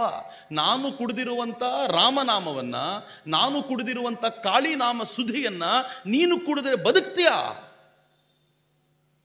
ಇವನು ತಿಳ್ಕೊಂಡಿರೋದು, ನಾನು ಕುಡಿದಿರೋ ಕೆಪಾಸಿಟಿ ಹೆಂಗಿದೆ, ಅದನ್ನು ತಡ್ಕೊಳ್ಳೋ ಸಾಮರ್ಥ್ಯ ಹೇಳ್ದ, ಅದೇ ಬೇಕು ನನಗೆ. ಇಷ್ಟು ಕುಡಿದ ಮೇಲೆ ಅಟ್ ಕೆಪಾಸಿಟಿ ಇರಲ್ವ ನನಗೆ? ಅಂತ ಇವನ್ ಕೇಳ್ತಿರೋದು. ರಾಮಕೃಷ್ಣ ಹೇಳಿದ್ರು, ಬೇಡ ಕಣಪ್ಪ ಬೇರೆ ಏನಾದರೂ ಕೇಳು. ಅವನು ಹೇಳ್ದ, ಕೊಡೋದಿದ್ರೆ ಅದೇ ಕೊಡಿ ನನಗೆ. ಒಂದು ಸ್ವಲ್ಪ ಆದರೂ ಕೊಡಿ, ಗಂಟ್ಲು ತೇವ ಮಾಡ್ಕೊಳ್ಳೋಷ್ಟು ಅನ್ನೋ ಅರ್ಥದಲ್ಲಿ ಅವನು ಮಾತಾಡ್ತಿದ್ರೆ, ರಾಮಕೃಷ್ಣರು ಆಯಿತು ಬಾ ಅಂತ ಸ್ಪರ್ಶ ಮಾಡಿದರು ಭಾಗ್ಯವಂತ ಇವನು. ಕುಡುಕನಾಗಿದ್ರು ಭಾಗ್ಯವಂತ. ಗುರುಮಹಾರಾಜರ ಸ್ಪರ್ಶ ಸಿಕ್ಬಿಡ್ತು ಅವನಿಗೆ. ಆ ಪುಣ್ಯಾತ್ಮ ಹೆಂಗೆ ಆಗ್ಬಿಟ್ಟ ಅಂತಂದರೆ, ಹೆಂಗೆ ಆಗ್ಬಿಟ್ಟ ಅಂದರೆ, ಮುಂದಿನ ಅನೇಕ ಕ್ಷಣಗಳ ಕಾಲ, ಅನೇಕ ನಿಮಿಷಗಳ ಕಾಲ ನಿರಂತರವಾಗಿ ಕಣ್ಣೀರ ಧಾರೆಯನ್ನು ಹರಿಸಿ ರಾಮಕೃಷ್ಣರ ಎದುರಿಗೆ ಹಾಗೇ ಕೂತಿದ್ದ, ಅವನು ಕಳೆದೋಗ್ಬಿಟ್ಟಿದ್ದಾನೆ. ಅವನು ಆ ನಿಶಯ ತುದಿಗೆ ತಲುಪಿ ಆಗೋಗಿದೆ. ಅವನ ಅದರಿಂದ ಕೆಳಗೆ ಇಳಿಕಾಗ್ತಿಲ್ಲ. ಸುತ್ತಲೂ ಇದ್ದವ್ರು ಏನಾಗ್ತೀನಿ ಅದ್ರ ಮಾಡಬೇಕಾ ಅಂತ ಕೇಳಿದ್ರೆ, ರಾಮಕೃಷ್ಣ ಹೇಳಿದ್ರು ಸುಮ್ಮನೆ ಇದ್ಬಿಡಿ, ಸ್ವಲ್ಪ ಹೊತ್ತಾದ್ಮೇಲೆ ನಾರ್ಮಲ್ ಆಗ್ತಾನೆ ಅಂತ ಸುಮ್ಮನೆ ನಿಲ್ಲಿಸಿದ್ರು ಅವನು ಸ್ವಲ್ಪ ಹೊತ್ತಾದ್ಮೇಲೆ ಕೆಳಗಿಳಿದ, ಏನೂ ಮಾತನಾಡುವಷ್ಟು ಸಾಮರ್ಥ್ಯ ಇಲ್ಲ ಎದ್ದು ಹೋದ. ಆದರೆ ಅವನಿಗೆ ಗೊತ್ತಾಯ್ತು, ನನ್ನನ್ನು ಸ್ಪರ್ಶ ಮಾಡಿದ ವ್ಯಕ್ತಿ ಸಾಮಾನ್ಯನಲ್ಲ, ಸಾಕ್ಷಾತ್ ಭಗವಂತ ಅಂತ. ಕೆಲವು ಬಾರಿ ನನಗೆ ಕಾಳಿಪದನನ್ನು ಯೋಚನೆ ಮಾಡಿದಾಗ ಹೊಟ್ಟೆ ಉರಿದೋಗ್ಬಿಡತ್ತೆ. ಯಾಕೆ ಹೊಟ್ಟೆ ಉರಿಯತ್ತೆ ಅಂತಂದರೆ ಒಬ್ಬ ಕುಡುಕನಿಗೆ ರಾಮಕೃಷ್ಣರು ದೇವರು ಅಂತ ಮೊದಲನೇ ಭೇಟಿಯಲ್ಲೇ ಗೊತ್ತಾಯಿತು. ನಾವೆಲ್ಲ ಹೋಶೋ ಹವಾಸಲ್ಲಿದ್ದೀವಿ. ಇವತ್ತಿಗೂ ರಾಮಕೃಷ್ಣರ ದೇವರ ಹೌದಾ ಅಲ್ವಾ ಅಂತ ಯೋಚನೆ ಮಾಡ್ತಿರ್ತೀವಿ ಅಂತಂದರೆ ನಮಗಿಂತ ಆ ಕುಡುಕ ನೂರು ಪಟ್ಟು ವಾಸಿ ಅಂತ ನನಗೆ ಯಾವಾಗಲೂ ಅನಿಸುತ್ತೆ.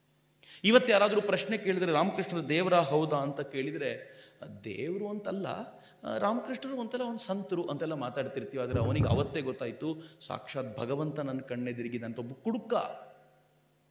ಆಮೇಲೆ ಏನು ಮಾಡ್ತಾನೆ ಗೊತ್ತಾ ಅವನು? ನಾನು ಹೇಳಬೇಕಾಗಿರೋ ಸಂಗತಿಯಿಂದ ಬಹಳ ದೂರ ಬಂದಿದ್ದೀನಿ ಬಟ್ ನಂಗೆ ಇದನ್ನು ಹೇಳಿದ ಮುಗಿಸ್ಲಿಕ್ಕಾಗಲ್ಲ. ಭಾಗ್ಯವಂತ. ಎಂಥ ಭಾಗ್ಯ ಅವನದ್ದು? ಒಂದಿನ ರಾಮಕೃಷ್ಣರಿಗೆ ತಾನು ದೋಣಿಯಿಂದ ಬಂದ. ರಾಮಕೃಷ್ಣರು ದೋಣಿಯಲ್ಲಿ ಹೋಗ್ಲಿಕ್ಕೆ ಅಂತ ಹುಡುಕಾಡ್ತಿದ್ದಾರೆ. ಯಾವ ದೋಣಿನೂ ಸಿಕ್ತಿಲ್ಲ. ಇವನು ದೋಣಿ ತೊಗೊಂಡು ಬಂದವನು ಹೇಳ್ದ, ಒಳ್ಳೆ ಸಮಯದಲ್ಲಿ ಸಿಕ್ಕಿದ್ದೀನಿ ಅಂತ. ನಾನೇ ದೋಣಿ ತೊಗೊಂಡ್ಬಂದಿದ್ದೀನಿ ಎಲ್ಲಿಗೆ ಹೋಗಬೇಕು ಹೇಳಿ ಹೋಗೋಣ ಅಂತ. ರಾಮಕೃಷ್ಣರು ದೋಣಿಯಲ್ಲಿ ಹೋಗಿ ಕೂತರು. ದೋಣಿಯನ್ನು ಚಲಾಯಿಸುವವನಿಗೆ ಚಾಲಕನಿಗೆ ಅವನು ಹೇಳಿದ್ದ ಮೊದಲೇ, ಮಧ್ಯದಲ್ಲಿ ಹೋಗಿ ದೋಣಿ ನಿಲ್ಲಿಸ್ಬಿಡು ಅಂತ. ದೋಣಿ ನಿಲ್ಲಿಸಿದ ತಕ್ಷಣ ರಾಮಕೃಷ್ಣರ ಕಾಲಿಗೆ ಬಿದ್ದು ನನಗೆ ಮಾತು ಕೊಡಿ, ಸತ್ತಾಗ ನನ್ನನ್ನು ಉದ್ಧಾರ ಮಾಡಲಿಕ್ಕೆ ಕೈ ಹಿಡಿದು ಕರ್ಕೊಂಡು ಹೋಗ್ತೀರಾ ಅಂತ ಮಾತು ಕೊಡಿ ಅಂತ ನಿಂತುಬಿಟ್ಟ. ರಾಮಕೃಷ್ಣ ಹೇಳಿದ್ರು, ಅವೆಲ್ಲ ನನ್ನಿಂದ ಸಾಧ್ಯ ಆಗಲ್ಲ ಕಣೋ. ನಾನು ಅಷ್ಟು ಅಂಥ ವ್ಯಕ್ತಿ ಅಲ್ಲ ಅಂತಂದರೆ ಇವನಂದ, ನೀವು ಹೌದೋ ಅಲ್ವೋ ಗೊತ್ತಿಲ್ಲ, ಮಾತು ಕೊಟ್ಟರೆ ಗಂಟು ಹೋಗುತ್ತಾ ನಿಮ್ಮದು ಹ್ಞೂ ಅಂತೇಳಿ ಉಳಿದಿದ್ದು ನಾನು ಮಾಡಿಸ್ಕೊಳ್ತೀನಿ. ರಾಮಕೃಷ್ಣರು ಏನು ಹೇಳಿದ್ರು ಗೊತ್ತಾ? ಏನು ಹೇಳಿದ್ರು ಗೊತ್ತಾ? ಆಯಿತು ಕಣಪ್ಪ, ನಾನು ನೀನು ತೀರಿಕೊಂಡಾಗ ಕೈಯಲ್ಲಿ ಲಾಟಿನ್ ಹಿಡಿದು ನಿನ್ನನ್ನು ಕರ್ಕೊಂಡು ಹೋಗಲಿಕ್ಕೆ ಅಂತ ಬರ್ತೀನಿ. ಆ ಅಂಧಕಾರದಿಂದ ನಾನು ಪಾರು ಮಾಡ್ತೀನಿ ನಿನ್ನನ್ನು ಅಂತ ಹೇಳಿ ಮಾತು ಕೊಟ್ಟರು ದೋಣಿ ಮುಂದಕ್ಕೆ ಹೋಯಿತು. ಆ್ಯಂಡ್ ಲಿಟ್ರಲಿ ಅವ್ನು ಸಾಯೋಕ್ಕಿಂತ ಕೆಲವು ದಿನಗಳ ಮುಂಚೆ ಊರಿನವ್ರಿಗೆಲ್ಲ ಹೇಳ್ದ, ನಾನು ಸಾಯೋ ದಿನ ಬಂತು ಎಲ್ಲರೂ ನಾನು ಸಾಯೋದು ನೋಡಿ ಅಂತ. ಕಾಳಿಪದನ ಸಾವನ್ನ ಸುತ್ತಮುತ್ತಲಿನ ಜನ ನೋಡಿದಿರಂತೆ. ಅವನು ಮನೆ ಹೊರಗಡೆ ಸಾಯಬೇಕಾದ್ರೆ ಸಾಯುವ ಕೊನೆ ಕ್ಷಣದಲ್ಲಿ, ಅಬ್ಬಾ, ಕೊಟ್ಟ ಮಾತಿನ ಥರ ಬಂದ್ರ? ಈಗ ನನಗೆ ಸಮಾಧಾನ ಆಯಿತು ಅಂತ ಹೇಳ್ತಾ ಹೇಳ್ತಾ ಕಣ್ಣು ಮುಚ್ಚದ ಅಂತ ಅವನ ಬಗ್ಗೆ ಬರೆದಿರೋದು ಬರೀತಾರೆ, ಕುಡುಕನ ಭಾಗ್ಯ ಹೇಳ್ರಿ.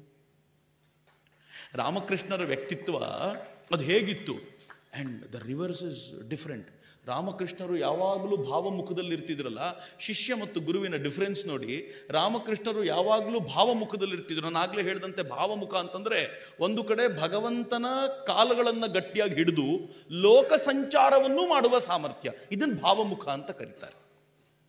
ರಾಮಕೃಷ್ಣರಿಗೆ ಭಾವಮುಖದಲ್ಲಿರುವಂಥ ಕಾಳಿಯೇ ಆದೇಶ ಮಾಡಿದ್ದು. ನೀನು ಪೂರ್ತಿ ಭಾವ ಸಮಾಧಿಗೂ ಏರ್ಬೇಡ, ಪೂರ್ತಿ ಜನರ ನಡುವೆನೂ ಇರಬೇಡ. ಯಾವಾಗಲೂ ಭಾವಮುಖದಲ್ಲಿದ್ರೆ ನಿನಗೆ ಈ ಲೋಕದ ತಂಟೆಗಳು ತಟ್ಟೋದಿಲ್ಲ ಅಂಥೇಳಿ ಹೇಳಿ ಭಾವಮುಖದಲ್ಲಿ ಇರ್ಲಿಕ್ಕೆ ಕೊಟ್ಟಿದ್ರು. ಇದೇ ರಾಮಕೃಷ್ಣರನ್ನ ಸ್ವಾಮಿ ವಿವೇಕಾನಂದರು ರಾಮಕೃಷ್ಣರ ದೇಹತ್ಯಾಗದ ಹೊತ್ತಿನಲ್ಲಿ ಅವರ ಅವರ ಅವರ ಸಂದರ್ಭದಲ್ಲಿ, ಆ ಸಂದರ್ಭದಲ್ಲಿದ್ದವ್ರು ಕೇಳ್ತಾರೆ, ಗುರುಗಳೇ, ನನಗೊಂದು ಕೃಪೆ ಮಾಡಿ. ಏನು ಅಂತ ಕೇಳ್ತಾರೆ ರಾಮಕೃಷ್ಣರು. ನಾನು ಯಾವಾಗಲೂ ಸಮಾಧಿ ಸ್ಥಿತಿಯಲ್ಲಿರಬೇಕು. ರಾಮಕೃಷ್ಣರು ಯಾವಾಗಲೂ ಸಮಾಧಿ ಸ್ಥಿತಿಯಲ್ಲಿ ಇರ್ತಿದ್ರಲ್ಲ ಅದೇ ಸಮಾಧಿ ಸ್ಥಿತಿಯಲ್ಲಿ ನಾನು ಇರಬೇಕು. ಆಗಾಗ ಹೊಟ್ಟೆಯನ್ನು ತುಂಬಿಸ್ಕೊಂಡು ದೇಹ ಕಾಪಾಡಿಕೊಳ್ಳಿಕ್ಕೋಸ್ಕರ ಕೆಳಗಿಳಿದ್ರೆ ಸಾಕು. ಇಷ್ಟು ನಂಗೆ ಅನುಗ್ರಹ ಮಾಡಿ ಅಂತ. ಬೇರೆಯವರು ಯಾರಾಗಿದ್ದರೂ ಕೊಡಬೇಕಿತ್ತಲ್ಲ? ಹೌದಪ್ಪ, ನನ್ನ ಆಸೆಯೂ ಇದೆ, ನನ್ನ ಶಿಷ್ಯರೆಲ್ಲರೂ ಯಾವಾಗಲೂ ಸಮಾಧಿ ಸ್ಥಿತಿಯಲ್ಲಿರಬೇಕು. ರಾಮಕೃಷ್ಣರು ಹೇಳಿದರು, ಹುಚ್ಚ, ನೀನು ಸ್ವಾರ್ಥಿ ನೀನು. ನೀನು ಎಂಥ ಕೆಟ್ಟವನು ನೀನು? ನಂಗೆ ಭಾಳ ಅಸಹ್ಯ ಆಗ್ತಿದೆ ನಿನ್ನ ಬಗ್ಗೆ. ನೋವಾಗ್ತಿದೆ ನನಗೆ. ನಾನು ನೀನು ಜಗತ್ತಿಗೆ ನೆರಳು ಕೊಡುವ ಆಲದ ಮರ ಆಗ್ತೀಯ ಅನ್ಕೊಂಡಿದ್ರೆ ಯಾವ ಪರಿ ಸ್ವಾರ್ಥಿ ಆಗ್ತಾ ಇದೆಯಾ ನೀನು? ಇದೆ, ಇನ್ನು ಮುಂದೆ ನಿನಗೆ ಸಮಾಧಿ ಯಾವತ್ತೂ ಸಿಗಲ್ಲ. ನಿನ್ನ ಸಮಾಧಿಯ ಪೆಟ್ಟಿಗೆಗೆ ನಾನು ಬೀಗ ಹಾಕಿ ಕೀ ತಗೊಂಡು ಹೋಗ್ಬಿಡ್ತೀನಿ. ನೀನು ಯಾವತ್ತೂ ಸಮಾಧಿ ಸಿಗಲ್ಲ. ಜಗತ್ತಿನ ಜನರ ನಡುವೆ ನೀನು ನಿರಂತರವಾಗಿ ಕೆಲಸ ಮಾಡ್ತಾ ಇರುವಂತೆ ಆಗತ್ತೆ, ನೋಡ್ತಾ ಇರುವಂಥ ರಾಮಕೃಷ್ಣರು ವಿವೇಕಾನಂದರಿಗೆ ಸಮಾಧಿಯಿಂದ ಆಚೆ ಇರುವಂತೆ ಒಂದು ವ್ಯವಸ್ಥೆ ಮಾಡಿದ್ರಲ್ಲ, ಇದು ಗುರು ಶಿಷ್ಯನಿಗೆ ತೋರಿಸಿಕೊಟ್ಟ ದಾರಿ ಅಂತ. ಮಿತ್ರ ಈ ದಾರಿ ಹೆಂಗಿತ್ತು ಅಂತಂದರೆ, ನಾನು ನಿನ್ನೆ ಕೂಡ ನೆನಪಿಸ್ಕೊಳ್ತಿದ್ದೆ ಧಾರವಾಡದ ಆಶ್ರಮದಲ್ಲಿ. ರಾಮಕೃಷ್ಣರ ದೇಹತ್ಯಾಗದ ಹೊತ್ತಲ್ಲಿ ಕೆಲವೇ ದಿನ, ಕೆಲವು ದಿನಗಳ ಮುಂಚೆ ರಾಮಕೃಷ್ಣರು ನರೇಂದ್ರನ ಸ್ಪರ್ಶ ಮಾಡ್ತಾರೆ. ಸ್ಪರ್ಶ ಮಾಡಿದ ತಕ್ಷಣ ಅಲ್ಲೊಂದು ಅಲೌಕಿಕವಾದ ಅನುಭೂತಿಯ ಸೃಷ್ಟಿಯಾಗುತ್ತೆ. ಅದಾದಮೇಲೆ ರಾಮಕೃಷ್ಣರು ಕಣ್ಣೀರಿಡ್ತಾ ಹೇಳ್ತಾರೆ, ಇವತ್ತಿನಿಂದ ನಾನು ಫಕೀರನಾಗ್ಬಿಟ್ಟೆ ಅಂತ, ಎಲ್ಲವನ್ನು ಕಳ್ಕೊಂಡ್ಬಿಟ್ಟೆ ಅಂತ ಕಣ್ಣೀರಿಡ್ತಾರೆ. ಯಾರಿಗೂ ಗೊತ್ತಾಗಲ್ಲ ಏನಾಗಿದೆ ಅಂತ.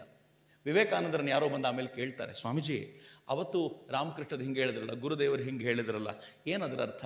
ಗುರುದೇವರು ಯಾಕೆ ಫಕೀರರಾಗ್ಬಿಟ್ರು ಅಂತ ಕೇಳಿದರೆ ವಿವೇಕಾನಂದರು ಹೇಳ್ತಾರೆ, ಯಾಕೂ ಇಲ್ಲ, ಅವತ್ತಿನವರೆಗೂ ರಾಮಕೃಷ್ಣರ ಹೃದಯದಲ್ಲಿದ್ದ ಕಾಳಿ ಅವತ್ತು ಶಿಫ್ಟ್ ಆಗಿ ನನ್ನ ಹೃದಯಕ್ಕೆ ಬಂದು ಕೂತುಬಿಟ್ಲು. ಅಲ್ಲಿಂದ ಆಚೆಗೆ ನೆಕ್ಸ್ಟ್ ಭಾಳ ಚೆನ್ನಾಗಿದೆ. ನಮಗೂ ಭಾಳ ಖುಷಿ ಅನ್ಸುತ್ತೆ ವಾ ಬಂದು ಕೂತ್ಬಿಡಮ್ಮ ಅಂತ. ನಾವು ಕಾಳಿನ ಕೇಳ್ಕೊಳ್ಳಲ್ಲ, ಲಕ್ಷ್ಮಿನ ಕೇಳ್ಕೊಳ್ತೀವಿ. ನೀನು ಬಂದು ಕೂತ್ಬಿಡಮ್ಮ ಇನ್ನು ಯಾರ ಎದೆಗೂ ಹೋಗಬೇಡ, ನಾನೇ ಇಟ್ಕೊಂಡಿರ್ತೀನಿ ಅಂತ. ಆದರೆ ಕಾಳಿ ಬಂದಿದ್ದರ ಮ್ಯಾಜಿಕ್ ಎಂಥದ್ದು ಗೊತ್ತಾ?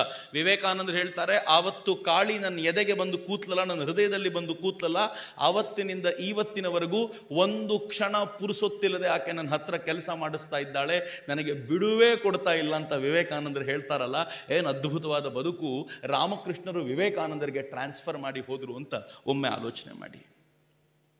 ವಿವೇಕಾನಂದರ ಹುಡುಕಾಟ ಇತ್ತಲ್ಲ. ಗುರು ಮತ್ತು ಶಿಷ್ಯರ ಬಾಂಧವ್ಯ ಎಲ್ಲಿ ಶುರುವಾಗುತ್ತೆ ಅಂತಂದರೆ ವಿವೇಕಾನಂದರಿಗೆ ಒಂದು ಹುಡುಕಾಟ ಶುರುವಾಗೋದ್ರೊಂದಿಗೆ. ವಿವೇಕಾನಂದರು ದೇವರಿದ್ದಾನ ಎನ್ನುವಂಥ ಹುಡುಕಾಟದಿಂದ ತಮ್ಮ ಬದುಕಿನ ಅತ್ಯಂತ ಪ್ರಮುಖವಾದ ಘಟ್ಟವನ್ನು ಶುರು ಮಾಡ್ತಾರೆ. ದೇವರಿದ್ದಾನ ದೇವರಿದ್ದಾನ ಅಂತ ಕಂಡು ಕಂಡವರ ಹತ್ರ ಕೇಳ್ತಾರೆ, ಯಾರಿಂದಲೂ ಉತ್ತರ ಸಿಗದೆ ಹೋದಾಗ ಅವರಿಗೆ ಉತ್ತರ ಸಿಗಬಹುದಾದ ಜಾಗವನ್ನ ಅವರ ಮೇಷ್ಟ್ರು ತೋರಿಸ್ಕೊಡ್ತಾರೆ. ವಿವೇಕಾನಂದರು ಅಲ್ಲಿಗೆ ಹೋಗಬೇಕು. ಎಷ್ಟು ಚೆನ್ನಾಗಿದೆ ನೋಡಿ. ಒಳಗೆ ಹೊತ್ತಿರುವ ವಿವೇಕಾನಂದರ ಬೆಂಕಿ ಒಬ್ಬ ಗುರುವನ್ನ ಅರಿಸ್ತಾ ಇದೆ. ಇದು ಸಹಜ. ನಮ್ಮೊಳಗೆ ಏನಾದರೂ ಸರಿಯಾದ ಬೆಂಕಿ ಹೊತ್ತಿಕೊಂಡ್ರೆ, ಭಗವಂತನ ಹುಡುಕಾಟದ ಬೆಂಕಿ ಹೊತ್ತಿಕೊಂಡ್ರೆ ಆತ್ಮ ಚಿಂತನೆಯ ಬೆಂಕಿ ಹೊತ್ತಿಕೊಂಡ್ರೆ, ಅದನ್ನು ನಂದಿಸಲಿಕ್ಕೆ ಗುರು ಬೇಕೇ ಬೇಕು. ರಾ ವಿವೇಕಾನಂದರ ಒಳಗೆ ಹೊತ್ತಿಕೊಂಡ ಬೆಂಕಿ ಈಗ ಗುರುವಿನ ಹುಡುಕಾಟಕ್ಕೆ ಬಂದು ನಿಂತ್ಕೊಳ್ತು. ಯಾರೋ ಒಬ್ರು ಸರಿಯಾದ ಸಮಯಕ್ಕೆ ತೋರಿದ್ರು, ಇಲ್ಲಿದ್ದಾರೆ ಗುರು, ಹೋಗು ಅಂತ. ಮ್ಯಾಜಿಕ್ ಏನು ಗೊತ್ತಾ?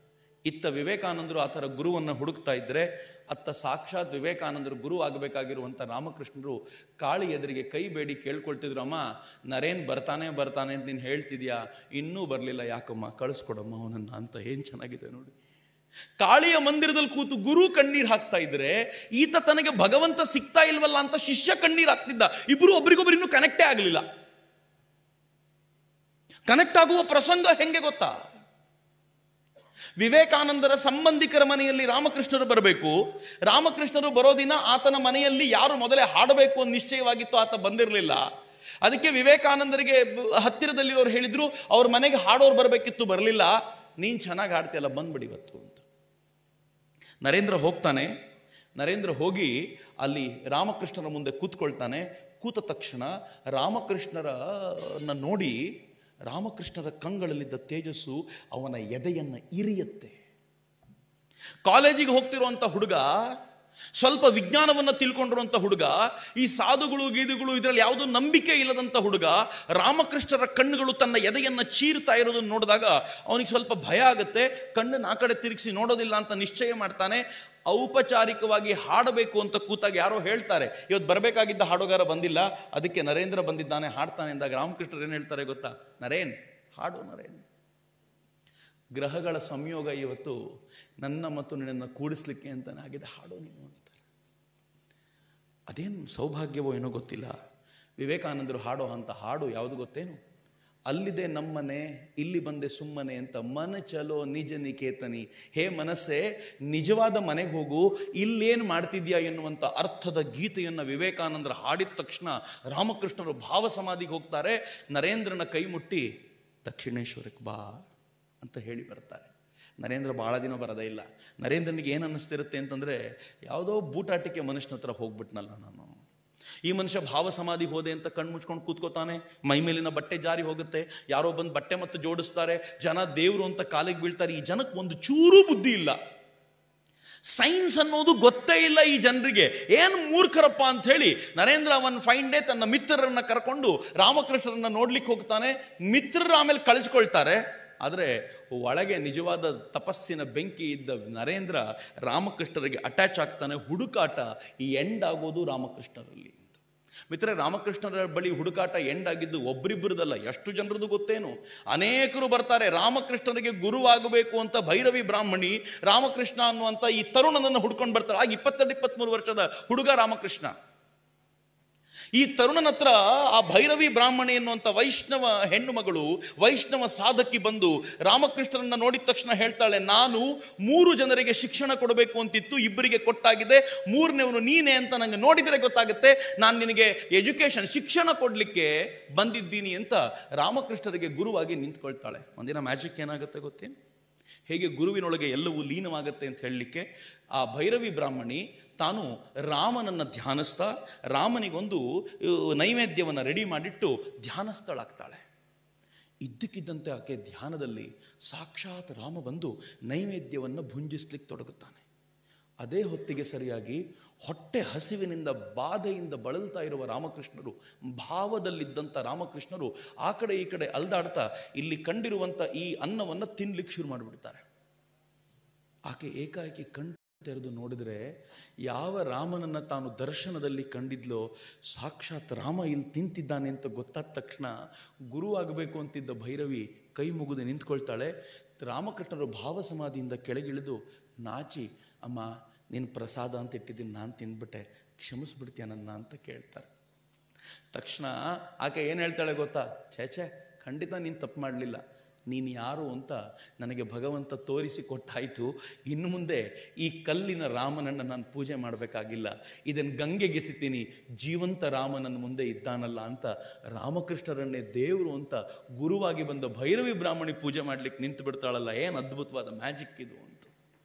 ಮಿತ್ರ ರಾಮಕೃಷ್ಣರ ಬದುಕಿನಲ್ಲಿ ಈ ಥರದ ಅನೇಕ ಸಂಗತಿಗಳು ನಡೆದಿವೆಯಲ್ಲ, ಅಂಥ ಗುರುವನ್ನು ಅರಸಿಕೊಂಡು ಬಂದಂಥ ವಿವೇಕಾನಂದರಿಗೆ ಆ ಹುಡುಕಾಟ ಎಂಡ್ ಆಯ್ತು. ಕರೆಕ್ಟ್ ಸರಿಯಾದ ಜಾಗಕ್ಕೆ ಬಂದಿದ್ದೀನಿ, ಇನ್ನೆಲ್ಲೂ ಹೋಗಬೇಕಾಗಿಲ್ಲ ಅಂತ. ಹೋಗಬೇಕಾಗಿಲ್ಲ ಅಂತ ಹೆಂಗ್ ಅನ್ನಿಸ್ತು ಗೊತ್ತೇನು? ರಾಮಕೃಷ್ಣರು ಅನೇಕ ಬಾರಿ ವಿವೇಕಾನಂದರನ್ನ ಪರೀಕ್ಷೆ ಮಾಡಬೇಕು ಅಂತ. ನಮಗೆಲ್ಲ ಗೊತ್ತಿರೋದು ವಿವೇಕಾನಂದರು ರಾಮಕೃಷ್ಣರನ್ನ ಪರೀಕ್ಷೆ ಮಾಡಿದ್ರು ಅಂತ. ಆದರೆ ಬಹಳ ಜನರಿಗೆ ಗೊತ್ತಿಲ್ಲ, ರಾಮಕೃಷ್ಣರನ್ನು ವಿವೇಕಾನಂದರನ್ನ ಪರೀಕ್ಷೆ ಮಾಡಿದ್ರು. ಈ ಮನುಷ್ಯ ಯೋಗ್ಯನಾ? ನಾನು ಪಡ್ಕೊಂಡಿದ್ದನ್ನೆಲ್ಲ ತಗೊಳ್ಳಿಕ್ಕೆ, ಸ್ವೀಕಾರ ಮಾಡಲಿಕ್ಕೆ ಯೋಗ್ಯನ? ನೋಡಬೇಕು ಅಂತ ಒಂದ್ಸಲ ಏನು ಮಾಡಿದ್ರು, ರಾಮಕೃಷ್ಣರು ವಿವೇಕಾನಂದರು ಬಂದಾಗ, ನರೇಂದ್ರ ಬಂದಾಗ ಮಾತೇ ಆಡಲಿಲ್ಲ ವಿವೇಕಾನಂದರಿಗೆ ಯಾಕೆ ಮಾತಾಡಲಿಲ್ಲ ಅಂತಲೇ ಗೊತ್ತಾಗಲಿಲ್ಲ. ನರೇಂದ್ರ ಬಂದು ಕೂತ ಒಂದು ಇಡೀ ದಿನ ಎದ್ದು ಹೋದ. ಮತ್ತೆ ನೆಕ್ಸ್ಟ್ ಡೇ ಬಂದ. ರಾಮಕೃಷ್ಣರು ಮಾತಾಡಲಿಲ್ಲ. ಈತ ಮತ್ತೆ ಕೂತ ಮತ್ತೆ ಎದ್ದು ಹೋದ. ಒಂದು ಎಂಟು ಹತ್ತು ದಿನ ಹೀಗೆ ನಡೀತು. ಅದರಲ್ಲಿ ಏನು ಮಹಾ ಅಂತಿರಲ್ಲ? ಇಮ್ಯಾಜಿನ್ ಮಾಡಿ.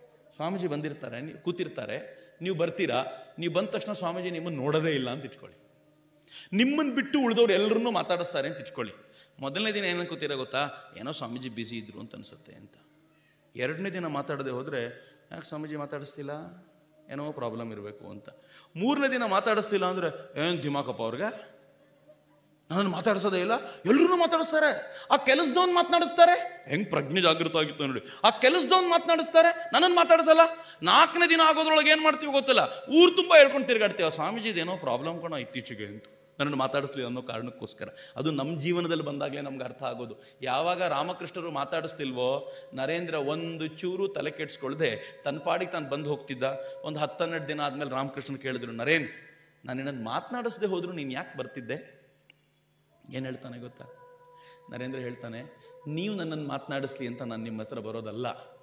ನಿಮ್ಮ ಮಾತುಗಳಲ್ಲಿರುವಂಥ ಚಿಂತನೆಗಳು ನನ್ನ ಬದುಕನ್ನು ಬದಲಾಯಿಸ್ತಾ ಇವೆಯಲ್ಲ, ಅದಕ್ಕೆ ಬರೋದು. ನಿಮ್ಮನ್ನು ನೋಡೋದ್ರಿಂದ ಮನಸ್ಸಿಗೆ ಆನಂದ ಸಿಗುತ್ತಲ್ಲ, ಅದಕ್ಕೋಸ್ಕರ ಬರೋದು. ನಿಮ್ಮ ಮಾತು ಯಾರಿಗೆ ಬೇಕಾಗಿದೆ? ಏನ್ ಚಂದ ಇದೆ ನೋಡಿ ಆ ಮಾತು? ಏನ್ ಶುದ್ಧ ಇದೆ ಅಂತಂದ್ರೆ, ನೀನ್ ಯಾಕೋ, ನಿನ್ನ ಹಂಗ್ಯಾಕೋ ನಿನ್ನ ನಾಮದ ಬಲ ಒಂದಿದ್ದರೆ ಸಾಕು ಅಂತ ದಾಸರು ಏನ್ ಹೇಳಿದ್ರು? ಅದನ್ನ ನರೇಂದ್ರ ಹೇಗೆ ಹೇಳ್ದ ಅಂತಂದ್ರೆ, ರಾಮಕೃಷ್ಣನಿಗೆ ಅನ್ನಿಸ್ತು ಅದ್ಭುತವಾದ ಶಿಷ್ಯ ಈತ. ನನಗೆ ಬೇಕಾಗಿರುವಂತ ಶಿಷ್ಯ ಈತನೇ. ಏನೇನ್ ಕೊಡಬೇಕೋ ಎಲ್ಲವನ್ನೂ ಕೊಡಬೇಕು ಅಂತ. ನರೇಂದ್ರ ಅವನ ಮನಸ್ಸಿನೊಳಗೆ ವೈರಾಗ್ಯ ಮೊದಲೇ ಇತ್ತು. ರಾಮಕೃಷ್ಣರು ಆ ವೈರಾಗ್ಯದ ಜ್ವಾಲೆ ಧಗ ಧಗಿಸುವಂತೆ ಮಾಡಿದರು. ನಂಗೆ ತುಂಬ ಚೆನ್ನಾಗಿ ನೆನಪಾಗುತ್ತೆ. ನರೇಂದ್ರನ ತಮ್ಮ. ಭೂಪೇಂದ್ರನಾಥ ದತ್ತ ತನ್ನ ಒಂದು ಕೃತಿಯಲ್ಲಿ ವಿವೇಕಾನಂದರ ಬಗ್ಗೆ ಬಿರುಗಾಳಿ ಸಂತ ಅಂತ ಬರಿಬೇಕಾದ್ರೆ ಅದರಲ್ಲಿ ಬರೀತಾನೆ. ಒಂದ್ಸಲ ನರೇಂದ್ರ ರಾಮಕೃಷ್ಣರ ಬಳಿ ಕೂತಿದ್ದಂತೆ ರಾಮಕೃಷ್ಣರ ಬಳಿ ಕೂತಿದ್ದಾಗ ರಾಮಕೃಷ್ಣರು ಅವನಿಗೆ ಮಾತಾಡಿಸ್ತಾ ಕೂತಿದ್ರು ಅಷ್ಟೊತ್ತಿಗೆ. ನರೇಂದ್ರನ ತಾಯಿ ಮತ್ತು ನರೇಂದ್ರನ ತಮ್ಮ ಭೂಪೇಂದ್ರನಾಥ ಇಬ್ಬರು ಬಂದ್ರು. ರಾಮಕೃಷ್ಣರು ಅದುವರೆಗೂ ನರೇಂದ್ರನ ಬಳಿ ವೈರಾಗ್ಯದ ಬಗ್ಗೆ ಮಾತನಾಡ್ತಾ, ಸನ್ಯಾಸತ್ವದ ಬಗ್ಗೆ ಮಾತನಾಡ್ತಾ, ಜೋರ್ ಜೋರಾಗಿ ಆ ವಿಚಾರವನ್ನು ಮಾತನಾಡ್ತಾ ಇರುವಾಗ ಯಾವಾಗ ತಾಯಿ ಒಳಗೆ ಬಂದ್ಲೋ, ತಕ್ಷಣ ರಾಮಕೃಷ್ಣರು ಮಾತನ್ನು ಬದಲಾಯಿಸಿ, ಅಮ್ಮ, ಬಂದ್ರ ಒಳ್ಳೇದಾಯ್ತು. ನಾನು ಈ ನರೇಂದ್ರನಿಗೆ ಹೇಳ್ತಿದ್ದೀನಿ ಎಷ್ಟು ಸಲ ಹೋಗೋ ಮನೆಗೆ, ಅಮ್ಮ ಒಬ್ಬಳೇ ಇರ್ತಾರೆ, ಹೋಗೋ ಅಂತ ಹೇಳಿದ್ರು ಕೇಳಲ್ಲ. ಅಂದ್ಬಿಟ್ಟು ಮುಂದೆ ಹೇಳ್ತಾರೆ ಗೊತ್ತಾ? ನೆನ್ನೆ ಅಂತೂ ಆ ಗಿರೀಶ್ ಚಂದ್ರ ನರೇಂದ್ರನಿಗೆ ಕಾವಿ ಬಟ್ಟೆ ಹಾಕಿ, ಅವನಿಗೆ ಈ ರುದ್ರಾಕ್ಷಿ ಮಣಿಯನ್ನೆಲ್ಲ ಹಾಕಿ ನೋಡ್ಬಿಟ್ಟ. ನಾನು ಬೈದಿದ್ದೇನೆ ಅವನಿಗೆ ಹಂಗೆ ಮಾಡಬೇಡ, ಹೋಗು ಅಂತ ಹೇಳಿದ್ದೀನಿ. ಹೋಗು ಮೊದಲು ಅಂತೇಳಿ ಬೈದು ಕಳಿಸ್ಬಿಟ್ರು. ಇದ್ದಕ್ಕಿದ್ದಂಥ ಶಿಫ್ಟು ಈಗ ಮಜಾ ಏನು ಅಂತಂದರೆ, ಭೂಪೇಂದ್ರ ಬರೀತಾನೆ, ಇದನ್ನೆಲ್ಲ ಕೇಳಿಕೊಂಡು ಅಮ್ಮಂಗೆ ಭಾಳ ಖುಷಿ ಆಯ್ತಂತವಾ ರಾಮಕೃಷ್ಣರು ಎಷ್ಟು ಗ್ರೇಟು. ಎಂಥ ಒಳ್ಳೆ ಮಾತು ಹೇಳಿದರು. ಬಾ, ಅಂತ ಸಾರೋಟಲ್ಲಿ ಕೂರಿಸ್ಕೊಂಡ್ರಂತೆ. ಭೂಪೇಂದ್ರ ಹೇಳ್ತಾನೆ, ನನ್ನ ಅಮ್ಮ ಮತ್ತು ನರೇಂದ್ರ ಮೇಲೆ ಕೂತಿದ್ರು. ನಾನು ಕೆಳಗೆ ಒಂದು ಸ್ಟೆಪ್ ಕೆಳಗೆ ಕೂತ್ಕೊಂಡು ಮಾತು ಕೇಳ್ತಾ ಇದ್ದೆ. ಅಷ್ಟೊತ್ತಿಗೆ ಅವ್ರ ಅಮ್ಮ ಹೇಳಿದ್ರಂತೆ, ನೋಡೋ ನರೇನ್ ಗುರುದೇವರು ಎಷ್ಟು ಚೆನ್ನಾಗಿ ಹೇಳಿದ್ರು ನಿನಗೆ, ನಿನ್ನ ಜವಾಬ್ದಾರಿ ಏನು? ಮನೆಗೆ ಬರಬೇಕು, ನೀನು ಚೆನ್ನಾಗಿರಬೇಕು, ಮದುವೆ ಆಗಬೇಕು, ತಾಯಿಯ ಕಲ್ಪನೆಗಳನ್ನೆಲ್ಲ ಹೇಳ್ತಾ ಹೋದ್ಲು. ತಕ್ಷಣ ಎಲ್ಲ ಮಾತು ಮುಗಿದ್ಮೇಲೆ ನರೇಂದ್ರ ಹೇಳಿದ್ನಂತೆ, ಹೌದೌದು, ಅವ್ರು ಹಂಗೆ ಹೇಳೋದು. ಕಳ್ಳನಿಗೆ ಕಳ್ಳತನ ಮಾಡು ಅಂತ ಹೇಳ್ಕೊಡೋದು ಅವರೇ, ಆಮೇಲೆ ಮನೆಯವರಿಗೆ ಇವತ್ತು ರಾತ್ರಿ ಕಳ್ಳ ಬರ್ತಾನೆ, ಹುಷಾರಾಗಿ ನೋಡ್ಕೊಳ್ಳಿ ಅಂತ ಹೇಳೋದು ಅವರೇ, ನಾನು ಏನು ಮಾಡಲಿ ಅದಕ್ಕೆ ಅಂತ ರಾಮಕೃಷ್ಣರ ಬಗ್ಗೆ ನರೇಂದ್ರ ಹೇಳೋದು, ಏನು ಚೆನ್ನಾಗಿದೆ ನೋಡಿ. ಆ ಬಾಂಧವ್ಯ ಎಷ್ಟು ಸುಂದರ ಅಂತಂದ್ರೆ ರಾಮಕೃಷ್ಣರು ನರೇಂದ್ರನೊಂದಿಗೆ ಈ ಭಾವನೆಯನ್ನು ಹಂಚಿಕೊಂಡಿದ್ದರ ಪರಿಣಾಮವಾಗಿ, ನರೇಂದ್ರ ರಾಮಕೃಷ್ಣರನ್ನ ಹತ್ತಿರದಿಂದ ನೋಡಿದ್ದರ ಪರಿಣಾಮವಾಗಿ ಅವನ ಬದುಕಿನಲ್ಲಿ ಅಗಾಧವಾದ ಬದಲಾವಣೆ ಬಂತು, ಅಗಾಧವಾದ್ದು. ತನ್ನ ತಂದೆಯನ್ನ ಕಳ್ಕೊಂಡಾಗ ನರೇಂದ್ರ ರಾಮಕೃಷ್ಣರ ಬಳಿಗೆ ಬರ್ತಾನೆ. ಎಂಥ ಬದಲಾವಣೆ ನೋಡಿ ರಾಮಕೃಷ್ಣರು ನೋಟ್ ಮಾಡ್ತಾರೆ ಇದನ್ನ. ಮೊದಲನೇ ಬಾರಿಗೆ ಬಂದು ತಂದೆಯನ್ನು ಕಳ್ಕೊಂಡು ತುಂಬಾ ದುಃಖದಲ್ಲಿರುವಾಗ ಅವನು ಕೇಳ್ಕೊಳ್ತಾನೆ, ಕಾಳಿ ಬಳಿಗೆ ಹೋಗಿ ಕೇಳಿ ನನ್ನ ಮನೆಗೆ ತುಂಬ ಸಂಕಟ ಬಂದಿದೆ. ನನ್ನ ಸಂಕಟವನ್ನು ಪರಿಹರಿಸ್ಲಿಕ್ಕೆ ಕೇಳಿ ಅಂತ ನರೇಂದ್ರ ಕೇಳ್ಕೊಳ್ತಾನೆ. ರಾಮಕೃಷ್ಣರು ಹೇಳಿದರು, ನಾನು ಯಾಕೋ ಕೇಳ್ಕೊಳ್ಳಿ? ಕಾಳಿ ಹತ್ರ ನೀನೇ ಹೋಗಿ ಕೇಳು. ಆದರೆ ನೀನು ಏನು ಕೇಳ್ತೀಯೋ ಅದನ್ನು ಕೊಡು ಅಂತ ಕಾಳಿಗೆ ಹೇಳ್ತೀನಿ. ಏನು ಚೆನ್ನಾಗಿದೆ ನೋಡಿ, ನಾನು ಯಾಕೆ ಕೇಳಿ? ನಿನ್ನ ಮನೆಗೆ ಒಳ್ಳೇದಾಗಬೇಕು, ನೀನು ಕೇಳಕೋ. ಆದರೆ ನೀನು ಕೇಳಿ ಇದನ್ನು ಕೊಡಬೇಕು ಅಂತ ಹೇಳ್ತೀನಿ. ಇನ್ನೊಂದು ಎಕ್ಸಾಮ್ ದೊಡ್ಡ ಎಕ್ಸಾಮ್ ಇದು ನರೇಂದ್ರನ ಎದುರಿಗೆ. ನರೇಂದ್ರ, ಆಯಿತು ಅಂತ ಆ ಗರ್ಭಗುಡಿಯ ಒಳಗೆ ಹೋಗ್ತಾನೆ ದಕ್ಷಿಣೇಶ್ವರದ ಕಾಳಿ ಮಂದಿರದೊಳಗೆ. ಆ ಭವ್ಯ ಕಾಳಿ ಅವನ ಕಣ್ಣೆದುರಿಗೆ ಕಾಣ್ತಿರುವಾಗ, ನರೇಂದ್ರನ ಬಾಯಿಂದ ನನ್ನ ಮನೆಗೆ ಒಳ್ಳೇದು ಮಾಡು. ನಮ್ಮ ನಮ್ಮ ಮನೆಗೆ ಸಂಪತ್ತು ಕೊಡು. ನಂಗೊಂದು ಒಳ್ಳೆ ಮನೆ ಕೊಡು. ನಂಗೆ ಒಳ್ಳೆ ಬಟ್ಟೆ ಕೊಡು. ಕೇಳಬೇಕಿತ್ತು ನರೇಂದ್ರ.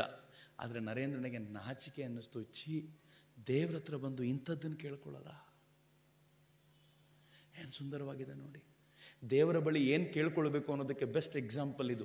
ನಾವು ದೇವರ ಬಳಿ ಕೂತ್ಕೊಂಡಾಗಲೆಲ್ಲ ಕಾಮ್ಯ, ನಮ್ಮ ಕಾಮ್ಯ ಸಿದ್ಧಿ ಆಗಲಿಕ್ಕೋಸ್ಕರ ನಮ್ಮ ಕಾಮನೆಗಳನ್ನು ಪೂರೈಸ್ಕೊಳ್ಳಿಕ್ಕೋಸ್ಕರ ದೇವರ ಬಳಿ ಹೋಗಿ ನಿಂತ್ಕೊಂಡು ಅದು ಕೊಡು, ಇದು ಕೊಡು ಅಂತ ಕೇಳ್ತಿರ್ತೀವಲ್ಲ, ನರೇಂದ್ರ ಕಾಲೇಜಿಗೆ ಹೋಗೋ ಹುಡುಗ ಮನಸ್ಸಿಗೆ ಅಂದ್ಕೊಳ್ತಾನೆ ಛೀ, ನಾನು ಇದನ್ನೆಲ್ಲ ಕೇಳ್ಕೊಳ್ಳೋದ ಎಂಥ ತಪ್ಪು ಮಾಡ್ತಿದ್ದೀನಿ ನಾನು ಅಂಥೇಳಿ ಒಳಗೋಗಿ ಕೂತ್ಕೊಂಡು, ಅಮ್ಮ, ನನಗೆ ಅಬಂಡೆಂಟಾಗಿ ಜ್ಞಾನ, ಭಕ್ತಿ ಮತ್ತು ವೈರಾಗ್ಯವನ್ನು ಕೊಡು ತಾಯಿ. ಇನ್ನೇನು ಬೇಡ ತಾಯಿ ಅಂತ ಬಂದ್ಬಿಟ್ಟ ಆಚೆ.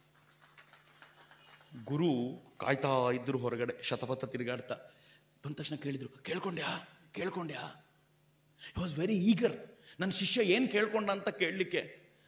ನರೇಂದ್ರ ಹೇಳ್ದ, ಅಲ್ಲಿ ಹೋದ ತಕ್ಷಣ ಮರ್ತೋಯ್ತು. ನಾನು ಜ್ಞಾನ ಭಕ್ತಿ ವೈರಾಗ್ಯ ಕೇಳ್ಕೊಂಡೆ. ರಾಮಕೃಷ್ಣರಿಗೆ ಒಳಗೆ ಖುಷಿ, ವಾ ಎಂಥ ಶಿಷ್ಯ? ಇದೇ ಶಿಷ್ಯ ಬೇಕಾಗಿದ್ದು ನನಗೆ. ಹೋಗೋಕೆ ವಾಪಸ್ ಹೋಗು ಅಂತ ಇನ್ನೊಂದು ಟರ್ಮ್ ಈ ಸಲ ಆದರೂ ಜಾರ್ಲಿ ಇವನು ಅಂತ. ಹೋಗಿ ಇನ್ನೊಂದು ಸಲ ಕೇಳ್ಕೊಂಡು ಬಾ ಅಂತ. ಟೆಸ್ಟ್ ಹೆಂಗಿರುತ್ತೆ ನೋಡಿ ಗುರುಗಳು ಮಾಡೋದು. ಮತ್ತೆ ಹೋದ, ಆಯ್ತು ಸಲ ಕೇಳ್ಕೊಳ್ಳೇಬೇಕು ಅಂತ. ಮತ್ತ ಆ ಕಾಳಿಯ ಮೂರ್ತಿ ನೋಡ್ದ, ಛೇ. ಅಕಸ್ಮಾತ್ ದೇವರು ಪ್ರತ್ಯಕ್ಷ ಆಗಿಬಿಟ್ರೆ, ಬ್ರುಕ್ ಬಾಂಡ್, ತ್ರೀ ರೋಸಸ್, ಚಾಯ್ ಪುಡಿ ಭಾಳ ಚೆನ್ನಾಗಿದೆಯಂತೆ. ಕೊಡಪ್ಪ ಅಂತ ನಾವು ಕೇಳ್ಕೊಂಡ್ರೆ ಏನು ಕೆಟ್ಟದ್ದೋ? ಎಷ್ಟು ಕೆಟ್ಟದ್ದಾಗಿರ್ಬೋದೋ? ನರೇಂದ್ರನಿಗೆ ಈ ಲೌಕಿಕವಾದ್ದನ್ನು ಕೇಳೋದಕ್ಕೆ ಅಷ್ಟೇ ಕೆಟ್ಟದ್ದು ಅನ್ನಿಸ್ತು. ನರೇಂದ್ರ ಹೋಗಿ ನಿಂತ್ಕೊಂಡು ಮತ್ತೆ ಕೇಳಿದ, ಅಮ್ಮ, ಆಗಲೇ ಕೇಳಿದ್ನಲ್ಲ. ಜ್ಞಾನ, ಭಕ್ತಿ, ವೈರಾಗ್ಯ, ಅದನ್ನು ಮಾತ್ರ ಕೊಡಕ್ಕೆ ಮರಿಬೇಡ ತಾಯಿ ಅಂತ ಎದ್ದೋಗ್ಬಿಟ್ಟ. ರಾಮಕೃಷ್ಣರು ಮತ್ತೆ ತಿರುಗಾಡ್ತಿದ್ರು ಕೇಳಿದ್ಯಾ ಈಗಲಾದರೂ? ಅದನ್ನು ಹೇಳ್ದ, ಇಲ್ಲ, ಆಗ್ಲೇ ಇಲ್ಲ. ರಾಮಕೃಷ್ಣ ಹೇಳಿದ್ರು ಫೈನಲ್ ಫೈನಲ್ ಈಗ ನೆನ್ಪಿಟ್ಕೊಂಡು ಹೋಗು. ನೀನೇನು ಕೇಳ್ಕೋಬೇಕು ಅಂದರೆ ಮನೆಗೆ ಒಳ್ಳೇದಾಗಬೇಕು, ಸಂಪತ್ತು ಕೇಳಬೇಕು, ನೆನ್ಪಿಟ್ಕೊಂಡು ಹೋಗು ಅಂದ್ರು. ಅಂದರೆ ಮತ್ತೊಂದು ತಪ್ಪಲಿ ನೋಡೋಣ ಅಂತ. ನರೇಂದ್ರ ಹೋದ, ಹೋಗಿ ಈ ಬಾರಿಯೂ ಅದನ್ನೇ ಕೇಳ್ಕೊಂಡು ಬಂದು, ಆಗಲೇ ಇಲ್ಲ ನನಗೆ ಅಂತ ಕುಸಿದು ಬಿದ್ದಾಗ ರಾಮಕೃಷ್ಣರ ಎತ್ತಿ ಅವನಿಗೆ ಹೇಳಿದ್ರು, ವಾ ನರೇನ್ ನೀನು ಭಗವತಿ ಹುಟ್ಟಿಸಿದ ದೇವಿಗೆ ನಿನ್ನನ್ನು ಹೇಗೆ ನೋಡ್ಕೋಬೇಕು ಅಂತ ನೀನು ಕೇಳ್ಕೊಳ್ಬೇಕೇನೋ? ಬದುಕಿರುವವರೆಗೂ ತೊಂದರೆ ಆಗದೆ ಇರುವಂತೆ ಅವಳು ನೋಡ್ಕೊಳ್ತಾಳೆ. ನೀನೇನು ಯೋಚನೆ ಮಾಡಬೇಡ. ನಿನಗೆ ಯಾವುದು ಬೇಕಾಗಿದೆಯೋ ಅದನ್ನು ಮಾತ್ರ ಭರ್ಜರಿಯಾಗಿ ಕೊಡ್ತಾಳೆ. ತಲೆ ಕೆಡಿಸ್ಕೊಳ್ಬೇಡ ಅಂತ ಹೇಳಿದ್ದರ ಪರಿಣಾಮ ವಿವೇಕಾನಂದ್ರ ಏನು ಅಗಾಧವಾಗಿ ಬೆಳೆದು ನಿಂತರು ಅಂತಂದರೆ ಜ್ಞಾನದ ಮೂರ್ತಿ. ವೈರಾಗ್ಯದ ಮೂರ್ತಿ, ಭಕ್ತಿಯ ಮೂರ್ತಿ. ವಿವೇಕಾನಂದರಾಗಿ ನಿಲ್ತಾರಲ್ಲ ಯಾಕೆ ಅಂದರೆ ಅವತ್ತು ಕೇಳ್ಕೊಂಡಿದ್ದನ್ನು ಕೊಡುವಂತ ಗುರು ಹೇಳಿದ್ರು, ಆತ ಹೋಗಿ ಕೇಳ್ಕೊಂಡಿದ್ದು ಇದನ್ನೇ. ಅಕಸ್ಮಾತ್ ವಿವೇಕಾನಂದರು ಒಂದು ಸ್ವಲ್ಪ ಎಡವಟ್ಟು ಮಾಡ್ಕೊಂಡು ಅವತ್ತೇನಾದರೂ ಸಂಪತ್ತು ಕೊಡು ಅಂತಂದಿದ್ರೆ, ವಿವೇಕಾನಂದರು ಇವತ್ತು ಕಲ್ಕತ್ತಾದ ಶ್ರೀಮಂತರ ಮನೆಯ ಒಂದು ಭಾಗವಾಗಿರ್ತಿದ್ರು. ನಾವು ನೆನಪಿಸ್ಕೊಳ್ತಾನೂ ಇರಲಿಲ್ಲ. ಆದರೆ ಅವತ್ತವ್ರು ಎಲ್ಲವನ್ನೂ ಬಿಟ್ಟು ನನಗೆ ಇದೇ ಬೇಕು ಅಂತ ಕೇಳ್ಕೊಂಡಿದ್ದರ ಪರಿಣಾಮವಾಗಿ ಇವತ್ತು ಅಗಾಧವಾಗಿ ನಮ್ಮೆದುರಿಗೆ ನಿಲ್ತಾರಲ್ಲ. ಇದು ವೈಭವ ಅಂತ. ಸ್ವಲ್ಪ ದಿನ ಕಳೀತಲ್ಲ? ನರೇಂದ್ರ ಮತ್ತೆ ವಾಪಸ್ ಬಂದ. ಮತ್ತೆ ಮುಖ ಸಣ್ಣ ಆಗಿದೆ ಒಂದು. ರಾಮಕೃಷ್ಣ ಅನ್ಕೊಂಡು ಮತ್ತೆ ಮನೇಲಿ ಪ್ರಾಬ್ಲಮ್ ಇರಬೇಕು ಅಂತ. ನರೇಂದ್ರ ಬಂದ, ಗುರುಗಳೇ, ತುಂಬ ಸಂಕಟ ಇದೆ ನನಗೆ. ರಾಮಕೃಷ್ಣ ಕೇಳಿದ್ರು, ಸಂಕಟ ಯಾಕೆ? ನರೇಂದ್ರ ಏನು ಹೇಳ್ತಾನೆ ಗೊತ್ತಾ? ಇಡೀ ಕಲ್ಕತ್ತಾ ಕ್ಷಾಮದಿಂದ ನರಳುತ್ತಾ ಇದೆ. ಎಲ್ಲಿ ನೋಡಿದ್ರು ಜನ ಸಾಯ್ತಾ ಇದ್ದಾರೆ. ಜಾನುವಾರುಗಳು ಸತ್ತು ಹೋಗ್ತಾ ಇವೆ. ಮೈ ಮೇಲೆ ಬಟ್ಟೆ ಇಲ್ಲದ ತಾಯಂದರನ್ನ ನೋಡಿದಾಗ ನಂಗೆ ಸಹಿಸ್ಕೊಳಕ್ಕಾಗ್ತಾ ಇಲ್ಲ. ಯಾಕೆ ಅನ್ಯಾಯ ಮಾಡ್ತಿದ್ದಾಳೆ ನಿಮ್ಮ ಕಾಳಿ? ನರೇಂದ್ರ ಕೇಳುವ ಮಾತು, ಯಾಕೆ ಅನ್ಯಾಯ ಮಾಡ್ತಿದ್ದಾಳೆ ನಿಮ್ಮ ಕಾಳಿ? ದಯಮಾಡಿ ಹೋಗಿ ಕೇಳ್ಕೊಳ್ಳಿ ಈ ಅನ್ಯಾಯವನ್ನು ತಡೆಗಟ್ಟಿ ಅಂತ. ಆ ಕಾಳಿಗೆ ಕಲ್ಕತ್ತಾಕ್ಕೆ ಒಳ್ಳೇದು ಮಾಡಿ ಅಂತ ಕೇಳ್ಕೊಳ್ಳಿ ಎಂದಾಗ ರಾಮಕೃಷ್ಣರು ಚಪ್ಪಾಳೆ ತಟ್ಟಿ, ವಾ ನರೇನ್, ವಾ ವಾ. ನರೇನಿಗೆ ಕೋಪ ಬಂದ್ಬಿಡ್ತು. ನಾನು ಒಳ್ಳೇದಾಗಲಿ ಸಮಾಜಕ್ಕೆ ಅಂತ ಕೇಳ್ಕೊಳ್ತಿದ್ರೆ ನಗ್ತಾ ಚಪ್ಪಾಳೆ ತಟ್ತಿದ್ದೀರಲ್ಲ ಅಂತ ಕೇಳಿದಾಗ ರಾಮಕೃಷ್ಣರು ಹೇಳಿದ್ರಂತೆ ಸುಮ್ಮನೆ ಚಪ್ಪಾಳೆ ತಟ್ತಿಲ್ಲ ಕಣೋ, ಸ್ವಲ್ಪ ದಿನಗಳ ಹಿಂದೆ ನನ್ನ ಮನೆಗೆ ಒಳ್ಳೇದು ಮಾಡು ಅಂತ ಕೇಳ್ಕೊಳ್ಳಿಕ್ಕೆ ಬಂದಿದ್ದೆ. ಈಗ ಕಲ್ಕತ್ತಾಕ್ಕೆ ಒಳ್ಳೇದು ಮಾಡು ಅಂತ ಕೇಳ್ಕೊಳ್ಳಿಕ್ಕೆ ಬಂದಿದೆಯಾ? ಇನ್ನೂ ಸ್ವಲ್ಪ ದಿನ ಕಳೆದ್ರೆ ದೇಶಕ್ಕೆ ಒಳ್ಳೇದು ಮಾಡು ಅಂತ ಕೇಳ್ತೀಯಾ? ಮತ್ತು ಕೆಲವು ದಿನ ಕಳೆಯೋದ್ರ ಒಳಗಾಗಿ ಜಗತ್ತಿಗೆ ಒಳ್ಳೇದು ಮಾಡು ಅಂತ ಕೇಳುವಟ್ಟು ವಿಶಾಲನಾಗ್ತೀಯ ನೀನು ಅಂತ? ಏನ್ ಸುಂದರವಾದ ವಿಸ್ತಾರ! ನಮಗೆ ಪಾಠ ಇದು. ನಾವಿನ್ನೂ ನರೇಂದ್ರ ಮೊದಲನೇ ಬಾರಿಗೆ ಕೇಳಲಿಕ್ಕೆ ಬಂದಿದ್ನಲ್ಲ, ಅದನ್ನ ಇನ್ನೂ ಕಂಪ್ಲೀಟ್ ಮಾಡ್ಕೊಂಡಿಲ್ಲ. ಇನ್ನು ಊರಿನವ್ರಿಗೆ ಒಳ್ಳೇದಾಗಲಿ ಅಂತ ಕೇಳೋದು ದೂರದ ಮಾತು. ನಮಗಿನ್ನೂ ನಮ್ಮ ಮನೆಗೆ, ನನ್ನ ಮಕ್ಕಳಿಗೆ, ನನ್ನ ಹೆಂಡತಿಗೆ, ನನ್ನ ಗಂಡನಿಗೆ, ನನ್ನ ಮಗಳಿಗೆ ಒಂದು ಒಳ್ಳೆ ವರ, ನನ್ನ ಮಗನಿಗೆ ಒಂದು ಒಳ್ಳೆ ಕೆಲಸ, ಇದರಿಂದ ಆಚೆಗಿನ್ನೂ ಬರಲಿಕ್ಕೆ ಆಗಲಿಲ್ಲ. ಈ ಈ ಈ ವೃತ್ತ ಇದೆಯಲ್ಲ, ವಿವೇಕಾನಂದರು ತಮ್ಮ ಕರ್ಮಯೋಗದಲ್ಲಿ ಭಾಳ ಚೆನ್ನಾಗಿ ಹೇಳ್ತಾರೆ. ಎಷ್ಟು ಚೆನ್ನಾಗಿ ಹೇಳ್ತಾರೆ ಅಂತಂದರೆ, ಎಲ್ಲಿಯವರೆಗೂ ಸ್ವಾರ್ಥ ನಮ್ಮೊಳಗಿರುತ್ತೋ, ಅಲ್ಲಿವರೆಗೂ ನಾವು ಒಂದು ವೃತ್ತದ ಕೇಂದ್ರವಾಗಿರ್ತೀವಿ, ಈ ವೃತ್ತವನ್ನ ವೃತ್ತ ನಮ್ಮನ್ನು ಸುತ್ತಾ ಇರುತ್ತೆ ಅಂತ. ಈಗ ನಾವೆಲ್ಲರೂ ವೃತ್ತದ ಕೇಂದ್ರ ವೃತ್ತದ ಕೇಂದ್ರ ಆಗಿರೋದ್ರಿಂದ ಎಲ್ಲ ಸ್ವಾರ್ಥ ನಮ್ಮಲ್ಲಿ ಅಡಗಿರೋದ್ರಿಂದ ಎಲ್ಲ ಬಂಧನಗಳು ನಮ್ಮನ್ನು ಎಳಿತಾ ಇವೆ. ಹೀಗಾಗಿ ಜಗತ್ನಲ್ಲಿರುವಂಥ ಎಲ್ಲ ನಿಯಮಗಳು ನಮ್ಮ ತಲೆ ಮೇಲಿವೆ.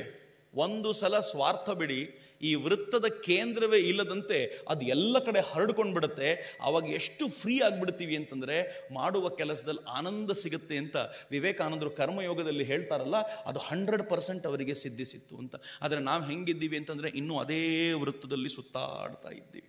ಈ ಗೊಂದಲಗಳು ಎಲ್ಲಿವರೆಗೂ ಇದೆ ಅಂತಂದರೆ ನೀವು ಯಾವುದಾದ್ರೂ ಒಂದು ಹೆಣ್ಣು ಮಗಳು ನಾನೊಂದು ಮಾತಾಡಬೇಕು ನಿಮ್ಮ ಹತ್ರ ಪರ್ಸ್ನಲ್ ಆಗಿ ಅಂತ ಬಂದರೆ ನೈಂಟಿ ನೈನ್ ಪರ್ಸೆಂಟ್ ಟೈಮ್ಸು ನನ್ನ ಗಂಡ ಹಿಂಗೆ ಮಾಡ್ತಾರೆ, ನಮ್ಮ ಅತ್ತೆ ಹಿಂಗೆ ಮಾಡ್ತಾರೆ. ಇದರ ಆಚೆಯ ಪ್ರಾಬ್ಲಮ್ಮೇ ಇರಲ್ಲ ಅಂತ.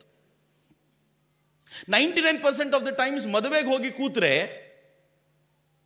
ಗಂಡು ಹೆಣ್ಣಿನ ಬಗ್ಗೆಯೋ, ಅವರ ಮುಂದಿನ ಸಂಸಾರಕ್ಕೆ ಒಳಿತಾಗಲಿ ಎನ್ನುವ ಹಾರೈಕೆ ಬಗ್ಗೆಯೋ ಮಾತನಾಡೋಕ್ಕಿಂತ ನಾವು ಇನ್ನೊಬ್ಬರ ಬಗ್ಗೆ ಎಷ್ಟು ಡಿಸ್ಕಸ್ ಮಾಡ್ತಿರ್ತೀವಿ ಅಂತಂದರೆ, ಆ ಡಿಸ್ಕಸ್ನಲ್ಲಿ ಒಂದು ಅದ್ಭುತವಾದ ಆನಂದ ನಮಗೆ, ವಾಹ್, ಏನು ಚೆನ್ನಾಗಿದೆ ಅಂತ. ನಮ್ಮೆಲ್ಲರ ಬದುಕಿನ ninety nine percent of the times ಕಳೆದೋಗಿರೋದು ಇದರಲ್ಲೇ.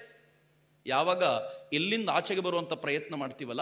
ದೊಡ್ಡದನ್ನು ಅಪ್ಪಿಕೊಳ್ಳೋ ಪ್ರಯತ್ನ ಮಾಡ್ತೀವಲ್ಲ? ಅಗಾಧವಾಗಿ ಬೆಳೆದು ನಿಲ್ತೀವಿ ಅಂತ ನೆನ್ಪಿಟ್ಕೊಳ್ಳಿ. ಈ ಈ ಶೋಲ್ಡರ್ಗೆ ಯಾರಾದರೂ ಇಲ್ಲಿ ಯೋಗ ಮಾಡೋರಿದ್ದರೆ ಅಥವಾ ಜಿಮ್ಮಿಗೆ ಹೋಗೋರಿದ್ದರೆ ಗೊತ್ತಿರುತ್ತೆ, ಮೊದಲನೇ ದಿನ ಹತ್ತು ಡಿಪ್ಸ್ ಹೊಡೆಯೋದ್ರ ವೇಳೆಗೆ ಈ ಕೈಗಳು ಸೋತು ಹೋಗ್ತವೆ. ಎರಡನೇ ದಿನ ಹನ್ನೆರಡಕ್ಕೆ ತಯಾರಾಗುತ್ತೆ, ಹದಿನೈದಕ್ಕೆ ತಯಾರಾಗುತ್ತೆ.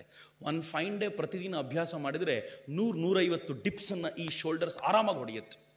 ನಾವೆಲ್ಲರೂ ನಮ್ಮ ಮನೆಯ ಪ್ರಾಬ್ಲಮ್ಮನ್ನೇ ದೊಡ್ಡದ್ದು ಅನ್ಸ್ಕೊಂಡಿರೋದ್ರಿಂದ ಈ ಶೋಲ್ಡರ್ ದೊಡ್ಡ ಭಾರವನ್ನು ತೆಗೆದುಕೊಳ್ಳೋ ತಾಕತ್ತನ್ನು ಮರೆತೇ ಹೋಗ್ಬಿಟ್ಟಿದೆ.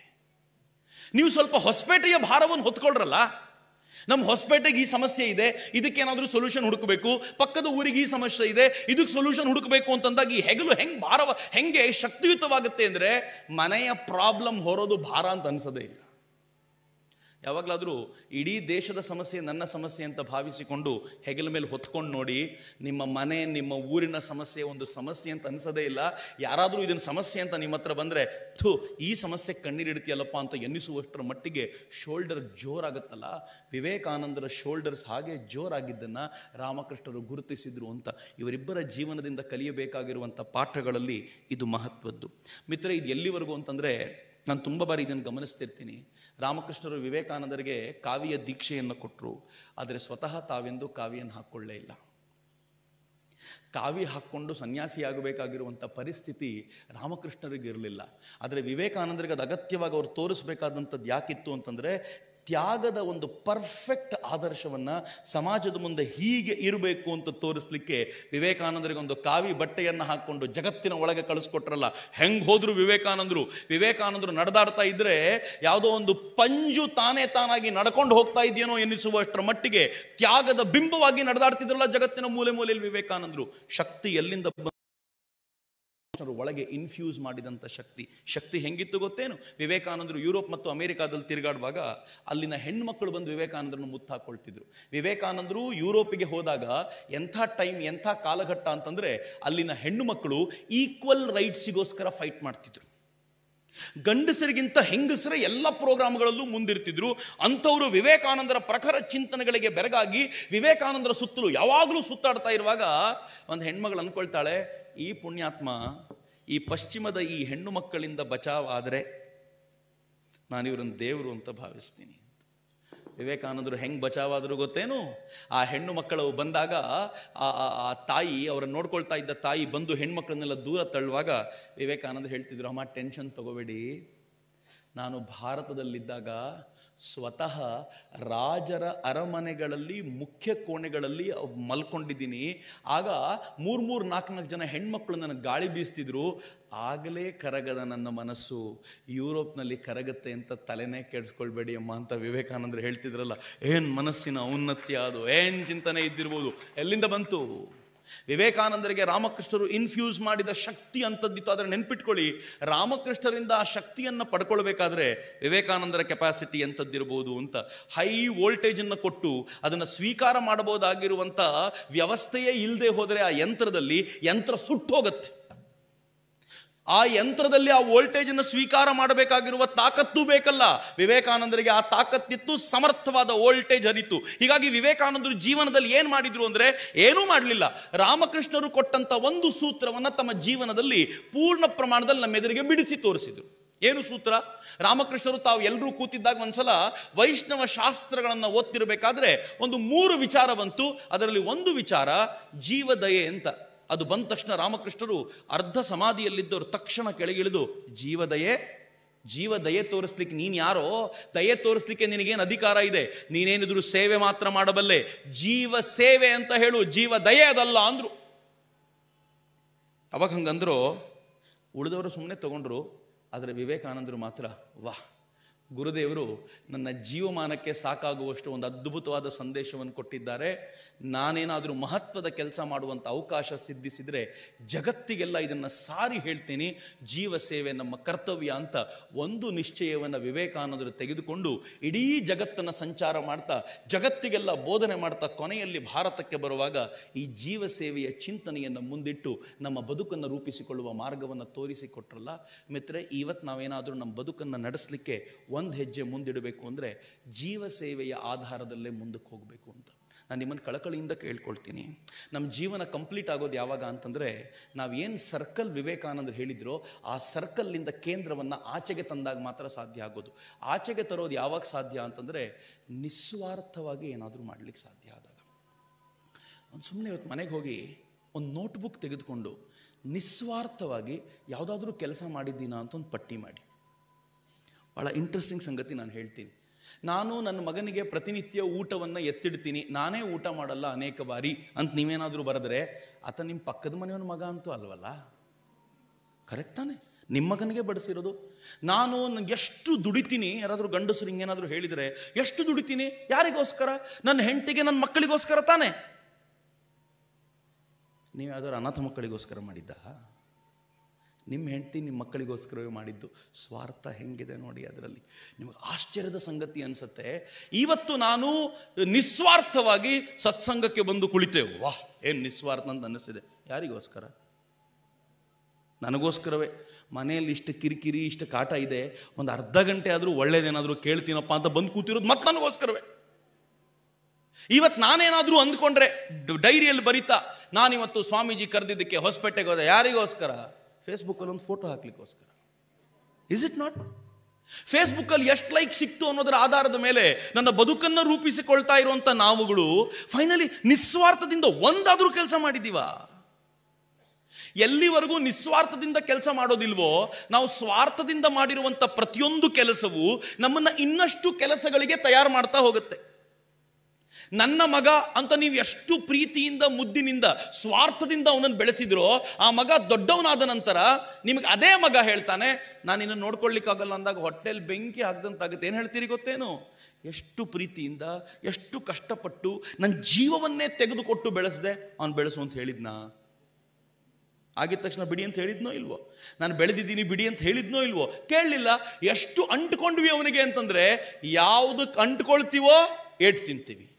ಯಾವುದರಿಂದ ಬಿಡುಗಡೆ ಬಯಸ್ತೀವೋ ನಮಗೆ ಏಟು ತಿನ್ನುವ ಪ್ರಮೇಯವೇ ಇರಲ್ಲ. ಹೀಗಾಗಿ ಮಾಡುವ ಕೆಲಸದಲ್ಲಿ ಹೆಚ್ಚು ಹೆಚ್ಚು ನಿಸ್ವಾರ್ಥವನ್ನು ತುಂಬಲಿಕ್ಕೆ ಸಾಧ್ಯವಾ ಅಂತ. ನೆನೆ ನಾನು ಮಾತಾಡ್ತಾ ಒಂದು ಕಥೆ ನೆನಪಿಸ್ಕೊಳ್ತಿದ್ದೆ. ನಾನು ಹೈಸ್ಕೂಲ್ನಲ್ಲಿರುವಾಗ ಒಬ್ಬ ಸ್ವಾಮೀಜಿ ನಂಗೆ ಹೇಳಿದ ಕಥೆ. ಒಂದು ದೇವಸ್ಥಾನದಲ್ಲಿ ನೀವು ಏನು ಶಿವನ ದೇವಸ್ಥಾನಕ್ಕೆ ಹೋದರೆ ನಂದಿ ಇರುತ್ತಲ್ಲ. ನಂದಿಗೆ ಮೊದಲು ಏನು ಮಾಡ್ತೀವಿ ಗೊತ್ತಾ? ನಂದಿ ಕಾಲಿಗೆ ಒಂದು ನಮಸ್ಕಾರ ಮಾಡ್ತೀವಿ. ನಂದಿಯ ಎರಡು ಕೋಡುಗಳಿಂದ ಶಿವನನ್ನು ನೋಡ್ತೀವಿ. ಆಗಲೇ ತೃಪ್ತಿ ನಮಗೆ. ನಂದಿಯ ಕೋಡುಗಳಿಂದ ಶಿವನನ್ನು ನೋಡಿ ಆಮೇಲೆ ಶಿವನಿಗೆ ನಮಸ್ಕಾರ ಮಾಡುವಂಥ ನಾವು, ಅದೇ ನಂದಿಗೆ ಜೀವ ಬಂದು ಈ ಮಂದಿರದೊಳಕ್ಕೆ ನುಗ್ಗಿ ಇಲ್ಲಿರುವಂಥ ಗಿಡ ತಿಂತಾ ಇದ್ರೆ ಸತ್ಯ ಹೇಳಿ ಏನು ಮಾಡ್ತೀರಾ? ಬಡಿತೀವೋ ಇಲ್ವೋ? ಸ್ವಾಮೀಜಿ ಈ ಕತೆ ಹೇಳಿದ್ರು. ನಾನು ಕತೆ ಕೇಳಿ, ಕತೆ ಚೆನ್ನಾಗಿದೆಯಲ್ಲ ಅಂತ ಕೇಳ್ಬಿಟ್ಟು ಸ್ವಾಮೀಜಿ ಸ್ವಾಮೀಜಿ ಅರ್ಥ ಏನು? ಅಂದ್ರೆ ಬಹಳ ಸಿಂಪಲ್ ಕಣ. ಎಲ್ಲಿವರೆಗೂ ನೀನು ನಿಸ್ವಾರ್ಥವಾಗಿ ಭಗವಂತನೇ ಸರ್ವಸ್ವ ಅಂತ ಅವನ ಹತ್ರ ನೋಡ್ತಾ ಇರ್ತೀಯೋ, ಅಲ್ಲಿವರೆಗೂ ಜನರೆಲ್ಲ ನಿನ್ನ ಕಾಲಿಗೆ ಬೀಳ್ತಿರ್ತಾರೆ. ನೀನು ಅದನ್ನು ಬಿಟ್ಟು ಪ್ರಪಂಚವೇ ನನಗೆ ಬೇಕು ಅಂತ ಬಂದ್ರೆ ಸರಿಯಾಗಿ ಏಟು ಬೀಳ್ತವೆ, ಹುಷಾರಾಗಿರು ಅಂತ. ಅದರ ಅರ್ಥ ಅಂತ. ಏನ್ ಚೆನ್ನಾಗಿದೆ? ನಾವು ಆ ನಂದಿಗಳ ಎಲ್ಲಿವರೆಗೂ ಎಲ್ಲಿವರೆಗೂ ಭಗವಂತನ ಕಡೆ ಮುಖ ಮಾಡ್ಕೊಂಡಿರ್ತೀವೋ ಅಲ್ಲಿವರೆಗೂ ಆ ನಂದಿಗಳು. ಅದರಿಂದ ತಿರುಗಿ ಏನಾದರೂ ಪ್ರಪಂಚಕ್ಕೆ ಬಂದ್ವಿ ಅಂತಂದ್ರೆ ನಮ್ಮ ಕಥೆ ಮುಗದೆ ಹೋಯ್ತು ಅಂತ. ಹೀಗಾಗಿ ಬದುಕಿನಲ್ಲಿ ಈ ನಿಸ್ವಾರ್ಥವನ್ನ ಸೇರಿಸ್ಕೊಳ್ತಾ ಮಾಡುವ ಪ್ರತಿಯೊಂದು ಕೆಲಸದಲ್ಲೂ ಈ ನಿಸ್ವಾರ್ಥದ ಒಗ್ಗರಣೆ ಇರೋ ಥರ ನೀವೇನಾದರೂ ನೋಡ್ಕೊಂಡ್ರಿ ಅಂತಾದರೆ, ನಾವೇನಾದರೂ ನೋಡ್ಕೊಂಡ್ವಿ ಅಂತಾದ್ವೆ ಆದರೆ ನಮ್ಮ ಬದುಕು ಪೂರ್ಣ ಸೈಕಲ್ನ ಕಂಪ್ಲೀಟ್ ಮಾಡುತ್ತೆ. ಇನ್ನು ಮುಂದೆ ಇದೇ ಸೈಕಲ್ಗೆ ಬರಬೇಕಾದಂಥ ಅವಶ್ಯಕತೆ ಇಲ್ಲದಂತೆ ಮುಗದೇ ಹೋಗ್ಬಿಡುತ್ತೆ ಅಂತ ವಿವೇಕಾನಂದರು ಕರ್ಮಯೋಗದಲ್ಲಿ ಡೀಟೇಲ್ ಆಗಿ ಎಕ್ಸ್ಪ್ಲೈನ್ ಮಾಡ್ತಾರೆ. ಸ್ವಾಮೀಜಿ, ಆ ಜೀವ ಸೇವೆಯ ಮಾತು ಹೇಳ್ತಾರಲ್ಲ, ಕರ್ಮಯೋಗದಲ್ಲಿ ಅದ್ಭುತವಾಗಿ ಎಕ್ಸ್ಪ್ಲೈನ್ ಮಾಡ್ತಾರೆ. ಎಕ್ಸ್ಪ್ಲೈನ್ ಮಾಡ್ತಾ ಹೇಳ್ತಾರೆ, ನೀವು ಎಷ್ಟು ಸೇವಾ ಮನೋಭಾವದಿಂದ ಈ ಕೆಲಸವನ್ನು ಮಾಡ್ತಾ ಹೋಗ್ತಿರೋ? ಸೇವಾ ಮನೋಭಾವ ಅಂದರೆ ಏನು ಗೊತ್ತಾ? ನಾನು ಮಾಡ್ತಾ ಇದ್ದೀನಿ ಅಂತಲ್ಲ. ಮಾಡುವ ಭಾಗ್ಯ ಭಗವಂತ ನನಗೆ ಕೊಟ್ಟಿದ್ದಾನಲ್ಲ ಅಂತ ಏನು ಚೆನ್ನಾಗಿದೆ? ನನಗೆ ಮೊದಲನೇ ಬಾರಿ ಇದು ಅರ್ಥ ಆಗಿರಲಿಲ್ಲ. ನಾನು ಮಾಡ್ತಾ ಇದ್ದೀನಿ. ಯಾವುದೋ ಒಂದು ಭಿಕ್ಷುಕಿ ರಸ್ತೆಯಲ್ಲಿ ಕೂತಿದ್ರೆ, ಅಣ್ಣ, ಮೂರು ದಿನದಿಂದ ಊಟ ಮಾಡಲಿಲ್ಲ ಅಂತಂದರೆ, ಆಯ್ತು ಬಾ, ಕೊಡಿಸ್ತೀನಿ ಊಟ. ಭಗವಂತ ನಂಗೆ ದುಡ್ಡು ಕೊಟ್ಟ ನಾನು ಊಟ ಕೊಡಿಸಿದ್ದೀನಿ ಕೊಡಿಸಿದ್ದೀನಿ ತಾನೆ. ನಾನು ಕೊಡಿಸಿದ್ದಕ್ಕೆ ಊಟ ಮಾಡಿದೆ. ಅದರಲ್ಲಿ ಧನ್ಯತಾ ಭಾವ ಎಂಥದ್ದು ಆಮೇಲೆ ಗೊತ್ತಾಯ್ತು ನನಗೆ, ಅದೇ ರಸ್ತೆಯಲ್ಲಿರುವಂಥ ಅಜ್ಜಿ ನಾಲ್ಕು ಜನರನ್ನು ಕೇಳ್ತಾಳೆ, ಅಣ್ಣ, ಊಟ ಮಾಡಲಿಲ್ಲ, ಕೊಡಿಸಿ ಅಂತ. ಆದರೆ ನೀವು ಬಂದು, ನೀವಾಗೇ ಕೊಡಿಸ್ಲಿಕ್ಕೆ ಅಂತ ಹೋದರೆ ನಿಮ್ಮ ಹತ್ರ ಮಾತ್ರ ತಗೊಳ್ಳಲ್ಲ ಹೋಗಪ್ಪ ಅಂದ್ಬಿಟ್ರೆ ಏನಾಗಬೇಡ ನಮ್ಮ ಕತೆ. ನಾವು ಕೊಟ್ಟಾಗ ಅವಳು ಪ್ರೀತಿಯಿಂದ ಸ್ವೀಕರಿಸಿರೋದು ಭಗವಂತ ನಮ್ಮ ಮೇಲೆ ಮಾಡಿರುವಂಥ ಕೃಪೆ ಅಂತ ಭಾವಿಸಬೇಕು ಅಂತ ವಿವೇಕಾನಂದರು ಹೇಳ್ತಾರಲ್ಲ, ಸೇವಾ ಮನೋಭಾವಕ್ಕೂ ಏನು ಔನ್ನತ್ಯವನ್ನು, ಏನು ಆದರ್ಶವನ್ನು ವಿವೇಕಾನಂದರು ತುಂಬಿಸಿ ಕೊಡ್ತಾರಲ್ಲ, ಈ ಆದರ್ಶವನ್ನು ಜೀವನದಲ್ಲಿ ತುಂಬಿಸಿಕೊಳ್ಳಲಿಕ್ಕೆ ಸಾಧ್ಯವಾದರೆ ನಮ್ಮ ಬದುಕು ಸಾರ್ಥಕವಾಗುತ್ತೆ. ನಾನು ಹೀಗಾಗಿ ಕಳಕಳಿಯಿಂದ ಪ್ರಾರ್ಥಿಸ್ಕೊಳ್ತೀನಿ. ನಮ್ಮ ನಮ್ಮೆಲ್ಲರ ಬದುಕು ಹೆಚ್ಚು ಹೆಚ್ಚು ನಿಸ್ವಾರ್ಥಪೂರ್ಣವಾಗಲಿ. ಹೆಚ್ಚು ಹೆಚ್ಚು ಸ್ವಾರ್ಥದಿಂದ ಮುಕ್ತವಾಗಲಿ, ನಮ್ಮ ಬದುಕು ಇತರರಿಗೋಸ್ಕರ ಈ ಬದುಕನ್ನು ಸವಿಸುವಂತಾಗಲಿ. ಸ್ವಾಮೀಜಿ ಹೇಳ್ತಾರಲ್ಲ they alone live who live for others rest are more dead than alive ಆ ಬದುಕು ಇತರರಿಗೆ ಹೆಚ್ಚು ಹೆಚ್ಚು ಸಮರ್ಪಣೆಯಾದಷ್ಟು ಈ ಬದುಕು ಜೀವಂತವಾಗತ್ತೆ, ಈ ಬದುಕು ಸಾರ್ಥಕವಾಗತ್ತೆ, ಈ ಬದುಕು ಮುಗಿದ ನಂತರ ಮತ್ತೆ ಹುಟ್ಟಿ ಬರಬೇಕಾದಂಥ ಅಗತ್ಯ ಇಲ್ಲ ಅಂತ. ನಮ್ಮೆಲ್ಲರ ಜೀವನದ ಗುರಿ ಏನು ಗೊತ್ತೇನು? ನಂಗೆ ಅನೇಕರು ಕೇಳ್ತಿರ್ತಾರೆ, ಜೀವನದ ಗುರಿ ಏನು? ಗುರಿ ಒಂದೇ, ಮತ್ತೆ ಈ ಜೀವನ ಬೇಡ ಅನ್ನೋದು. ನಮ್ಗೆ ಅರ್ಥವೇ ಆಗಲ್ಲ ಬಹಳ ಬಾರಿ. ನಾವು ಎಷ್ಟು ಬಾರಿ ಸ್ವಾರ್ಥ ಪ್ರೇರಿತವಾಗಿ ಕರ್ಮ ಮಾಡ್ತೀವೋ, ಮತ್ತೆ ಹುಟ್ಟು ಬರಬೇಕು. ಈ ಬಾರಿ ಹಾಸ್ಪಿಟಲ್ ಬಂದಿದ್ದೀವಿ, ಮುಂದಿನ ಬಾರಿ ಉತ್ತರ ಭಾರತದಲ್ಲೆಲ್ಲೋ ಬರ್ತೀವಿ ಕಳೆದ ಬಾರಿ, ಕಳೆದ ಜನ್ಮದಲ್ಲಿ ಯಾವುದೋ ಒಂದು ಒಳ್ಳೆಯ ಪುಣ್ಯ ಕಾರ್ಯ ಮಾಡಿದ್ದೀರಿ. ಅದಕ್ಕೋಸ್ಕರ ನೀವು ಕರ್ನಾಟಕದಲ್ಲೋ ಅಥವಾ ಭಾರತದಲ್ಲೋ ಹುಟ್ಟಿದ್ದೀರಿ. ಒಂದು ಸ್ವಲ್ಪ ಎಡವಟ್ಟು ಮಾಡಿಕೊಂಡು, ಅಕ್ಷಾಂಶ ರೇಖಾಂಶ ಪ್ರತ್ಯೇಕ ಆಗ್ಬಿಟ್ಟಿದ್ದಿದ್ರೆ, ಪಾಕಿಸ್ತಾನದಲ್ಲೋ ಅಫ್ಘಾನಿಸ್ತಾನದಲ್ಲೋ ಹುಟ್ಟಿದ್ದಿದ್ರೆ ಏನು ಕಥೆ ಇರ್ತಿತ್ತು? ಇಮ್ಯಾಜಿನ್ ಮಾಡಿ ಮುಂದಿನ ಜನ್ಮ ಏನಾದರೂ ಹುಟ್ಟುಬಿಟ್ರೆ ಹೆಂಗೆ? ಸೊ ನಮಗೆ ಇನ್ನೀ ಚಕ್ರಗಳಿಂದ ಪಾರಾಗಲಿಕ್ಕೆ ಇರುವಂಥ ಒಂದೇ ಒಂದು ಮಾರ್ಗ ವಿವೇಕಾನಂದರು ಹೇಳೋ ಪ್ರಕಾರ ರಾಮಕೃಷ್ಣರ ಆ ಚಿಂತನೆಯ ಸಾರದ ಭಟ್ಟಿಯನ್ನು ವಿವೇಕಾನಂದರು ನಮ್ಗೆ ಇಳಿಸಿಕೊಟ್ಟಿರೋ ಪ್ರಕಾರ ಸೇವೆಯ ಮೂಲಕ ಮಾತ್ರ ನಾವು ಈ ಬದುಕನ್ನು ಶ್ರೇಷ್ಠಗೊಳಿಸ್ಕೊಳ್ಬೋದು. ಮಾತ್ರ ಅಂದರೆ ಇನ್ನು ಭಕ್ತಿ ಮಾರ್ಗ, ಜ್ಞಾನ ಮಾರ್ಗ ಎಲ್ಲವೂ ಇದೆ, ಬಟ್ ನಮಗೆ ಈಸಿ ಆಗುವಂಥ ಮಾರ್ಗ ಇದು ಅಂತ ವಿವೇಕಾನಂದರು ಕಲ್ಪಿಸಿಕೊಡ್ತಾರಲ್ಲ. ರಾಮಕೃಷ್ಣರ ಆ ಸೂತ್ರವನ್ನು ವಿವೇಕಾನಂದರು ನಮಗೆ ಸುಂದರವಾಗಿ ಅದನ್ನು ಬಿಡಿಸಿಕೊಟ್ಟಿದ್ದಾರೆ. ನಮ್ಮ ಬದುಕಿಗೆ ಅಳವಡಿಸಿಕೊಳ್ಳುವ ಹೊಣೆಗಾರಿಕೆ ನಮ್ಮದು ನಾವು ಆ ಹೊಣೆಗಾರಿಕೆಯನ್ನು ಅರಿತು ನಡಿತೀವಿ ಅಂತಂದರೆ ಈ ಬದುಕು ಸುಂದರವಾಗುತ್ತೆ. ಮಿತ್ರರೇ, ರಾಮಕೃಷ್ಣರ ಈ ಈ ಈ ಏನು ದಿವ್ಯತ್ರಯರ ಈ ಸನ್ನಿಧಾನಕ್ಕೆ ಬಂದಿದ್ದೀವಿ ಅಂದರೆ ನಮ್ಮ ಬದುಕು ಪಾವನವಾಗತ್ತೆ ಅನ್ನೋದು ಗ್ಯಾರಂಟಿ ಅಂತ. ಹೊಸಪೇಟೆಯಲ್ಲಿ ಜನಸಂಖ್ಯೆ ಏನು ಕಡಿಮೆನಾ? ಯಾಕೆ ಕೆಲವ್ರನ್ನ ಮಾತ್ರ ಆರಿಸ್ಕೊಳ್ತಾರೆ? ಆರಿಸ್ಕೊಳ್ತಾರೆ ಅನ್ನೋ ಪದವನ್ನು ಅದಕ್ಕೆ ಬಳಸೋದು ನಾನು. ಎಲ್ಲರೂ ಎಲ್ಲ ಕಡೆ ಬರಲಿಕ್ಕಾಗಲ್ಲ. ಕೆಲವರನ್ನು ರಾಮಕೃಷ್ಣರು ಆರಿಸಿಕೊಂಡು ನನ್ನ ಹತ್ರ ನೀನೇ ಬರಬೇಕು ಅಂತ ಕರೆಯೋದಿದ್ದರೆ ನಾವು ಬಿಟ್ಟು ಹೋಗಲಿಕ್ಕೆ ಎಲ್ಲೂ ಸಾಧ್ಯ. ಮತ್ತು ಆ ಪುಣ್ಯಾತ್ಮ ನಮ್ಮನ್ನು ಆರಿಸ್ಕೊಂಡಿದ್ದಾನೆ ಅಂತಂದರೆ ಹೋದ ಜನ್ಮದ ಯಾವುದೋ ಪುಣ್ಯ ಕೆಲಸ ಮಾಡ್ತಿದೆ ನಾನು ಸತ್ಯ ಕೂಡ ಹೌದು. ಈ ರಾಮಕೃಷ್ಣಾಶ್ರಮ ಬೆಂಗಳೂರಿನಲ್ಲಿ ಹೋಗ್ತಾ ಇರಬೇಕಾದ ಒಂದು ಇಪ್ಪತ್ತೆರಡು ವರ್ಷದ ಹುಡುಗ ನಾನು ಆಗ್ತಾನೆ ಆಗ್ತಾನೆ ಆಶ್ರಮಕ್ಕೆ ಬಂದು ಪ್ರಾಬಲಿ ಹದಿನಾರಕ್ಕೆ ನಾನು ಆಶ್ರಮಕ್ಕೆ ಬಂದವನು. ನನ್ನ ಇಂಜಿನಿಯರಿಂಗ್ ಎಲ್ಲ ಮುಗಿಸ್ಕೊಂಡು ಒಂದ್ಸಲ ಹೋಗ್ತಾ ಇರಬೇಕಾದ್ರೆ ಯಾರೋ ಒಬ್ಬ ಅಜ್ಜಿ ಬಂದರು. ನನ್ನ ಹತ್ರ ಬಂದ್ಬಿಟ್ಟು, ಏನು ಪುಣ್ಯವಂತಪ್ಪ ನೀನು? ಅಂದರು. ನಾನು ಕೇಳಿದೆ, ಯಾಕೆ? ನನಗೆ ಗೊತ್ತಿಲ್ವಲ್ಲ. ನಾನು ಏನು ಪುಣ್ಯ ಮಾಡಿದ್ದೀನಿ ಅಂತ. ಯಾಕೆ? ಎಂದೆ. ಅವರಂದರು ಇಪ್ಪತ್ತೆರಡಕ್ಕೆ ಬಂದ್ಬಿಟ್ಟಿಯಲ್ಲಪ್ಪ. ನಾನು ನೋಡು, ಎಪ್ಪತ್ತಾಗಿದೆ ನನಗೆ. ಅಂದರು. ಕಾಲರ್ ಟೈಟ್ ಮಾಡ್ಕೊಳ್ಳೋ ಟೈಮಲ್ಲ ಹಿಂಗೆ ಅಂದ್ಕೊಂಡು ಒಂಥರ ಖುಷಿ ಆಯ್ತು ನನಗೆ ಒಳಗೊಳಗೆ. ಖುಷಿಯಾಗಿ ಆ ಪುಣ್ಯಾತ್ಮ ರಾಮಕೃಷ್ಣ ಒಂದು ನಿಮಿಷವೂ ಈ ಖುಷಿ ಇರ್ಲಿಕ್ಕೆ ಬಿಡಲಿಲ್ಲ. ನಾನು ಎದ್ದು ಈ ಕಡೆಗೆ ಬಂದೆ, ಒಬ್ಬ ತಂದೆ ತನ್ನ ಮಗುವಿನ ಕೈ ಹಿಡ್ಕೊಂಡು ನಡ್ಸ್ಕೊಂಡು ಬರ್ತಿದ್ರು, ನಾಲ್ಕು ವರ್ಷದ ಮಗು. ನಾನು ಅಂದ್ಕೊಂಡೆ ಎಲ್ಲ ಮಗುವೆ, ನಾಲ್ಕು ವರ್ಷಕ್ಕೆ ಬಂದಿಯಲ್ಲ ನೀನು? ನಾನು ಇಪ್ಪತ್ತೆರಡಕ್ಕೆ ಬಂದಲ್ಲ ಏನು ಪುಣ್ಯವಂತ ಇರಬೇಕು ನೀನು? ಅಂತ ಭಾಗ್ಯ ನೋಡಿ, ಆದ್ರೆ ಆಮೇಲೆ ಅನ್ನಿಸ್ತು, ಇಪ್ಪತ್ತೆರಡಕ್ಕಾದರೂ ಬಂದಲ್ಲ ಈಗಲೂ ಬರದೇ ಹೋಗಿದ್ರೆ? ರಾಮಕೃಷ್ಣರೇ ಹೇಳೋ ಥರ ಹತ್ತು ಕಡೆ ಹತ್ತತ್ತಡಿ ನೀ ಆಳವನ್ನು ತೆಗೆದು, ನಾನು ಬಾವಿ ತೆಗಿತೀನಿ ಬಾವಿ ತೆಗಿತೀನಿ ಅಂದ್ರೆ ಏನು ಬಂತು? ಎಲ್ಲೋ ಒಂದು ಕಡೆ ನಿಂತು ನೂರಡಿ ತೆಗೆದಿದ್ರೆ ಆವತ್ತೇ ನೀರು ಸಿಕ್ಕಿರ್ತಿತ್ತು ಅಂತ ರಾಮಕೃಷ್ಣರು ಹೇಳೋ ಥರ ನಾನು ಇನ್ನೆಲ್ಲೂ ತಿರುಗಾಡುವ ಪ್ರಮೇಯ ಇಲ್ಲ. ನಿನ್ನ ಸನ್ನಿಧಾನಕ್ಕೆ ಬಂದು ನನ್ನ ಬಾವಿ ತೋಡುವ ಕ್ರಿಯೆ ಎಂಡ್ ಆಗಿದೆ. ಇನ್ನು ಏನು ತೋಡೋದಿದ್ರು ಇಲ್ಲೇ ತೋಡಬೇಕು. ಏನು ಕೊಡೋದಿದ್ರು ನೀನೇ ಕೊಡಬೇಕು ಎನ್ನುವ ಪ್ರಜ್ಞೆಯನ್ನ, ಜ್ಞಾನವನ್ನು ಉಂಟು ಮಾಡಿದ್ರಲ್ಲ, ಭಾಗ್ಯ ಅಂತ. ನೆನ್ಪಿಟ್ಕೊಳ್ಳಿ ನಾನು ನೀವೆಲ್ಲರೂ ದಿವ್ಯತ್ರಯರ ಸನ್ನಿಧಾನಕ್ಕೆ ಬಂದಿದ್ದೀವಿ ಅಂತಂದರೆ ನಮ್ಮ ಜೀವನದ ಬಹುಪಾಲು ಮುಗಿದೇ ಹೋಯ್ತು ಅಂತ ಸನ್ನಿಧಾನಕ್ಕೆ ಬಂದಿರೋದ್ರಿಂದಲೇ. ನಾನು ತಮಾಷೆ ಮಾಡ್ತೀನಿ. ಇದೊಂಥರ ಹೋಲಿ ಟ್ರಯೋ ಯೂನಿವರ್ಸಿಟಿ ಅಂತ, ದಿವ್ಯತ್ರಯರೋ ಯೂನಿವರ್ಸಿಟಿ ಅಂತ. ಈ ಯೂನಿವರ್ಸಿಟಿಯಲ್ಲಿ ಎಂಟ್ರೆನ್ಸ್ ಎಕ್ಸಾಮ್ ಮಾಡೋದು ವಿವೇಕಾನಂದರು. ನಾವೆಲ್ಲ ಅವ್ರ ಮುಖ ನೋಡ್ಕೊಂಡೇ ಬಂದಿರೋದು. ವಿವೇಕಾನಂದರು ಪುಸ್ತಕ ಓದಿ ವಿವೇಕಾನಂದರು ಅಂತ ಮನಸ್ಸಿನಲ್ಲಿ ತುಂಬಿಕೊಂಡು ಕೊನೆಗೆ ಬಂದಾಗ ಈ ಯೂನಿವರ್ಸಿಟಿಯಲ್ಲಿ ಎಂಟ್ರೆನ್ಸ್ ಎಕ್ಸಾಮ್ ಮಾತ್ರ ಅವ್ರದ್ದು. ಪಾಠ ಮಾಡೋದು ರಾಮಕೃಷ್ಣರು ಅಂತ ಗೊತ್ತಾಯ್ತು. ವಚನವೇದದ ಮೂಲಕವೇ ಪಾಠ ನಡೆದಿರೋದು ನಮಗೆಲ್ಲ. ವಚನವೇದದ ಪಾಠ ಮಾಡಿದು ಮಾಡಿ ನಾವೆಲ್ಲ ಬದುಕಿನ ಎಕ್ಸಾಮ್ ಬರಿತೀವಲ್ಲ ವ್ಯಾಲ್ಯೂಯೇಷನ್ ಮಾಡೋದು ಶಾರದಾ ಮಾತೆಯವರು ಅಂತ. ಏನು ಚೆನ್ನಾಗಿದೆ ಯೂನಿವರ್ಸಿಟಿ ಇದು? ಇಷ್ಟಕ್ಕೆ ಖುಷಿ ಆದ್ರಲ್ಲ? ನಾನು ಇದನ್ನು ಹೇಳಿದಾಗ ಬೆಂಗಳೂರಲ್ಲಿ ಒಬ್ಬರು ಭಕ್ತರು ಬಂದು ಹೇಳಿದರು, ಚಕ್ರವರ್ತಿ, ಹೇಳಿದರು. ನಾನು ಪಾಸ್ ಅಂದರು. ನಾನು ಕೇಳಿದೆ ಯಾಕೆ?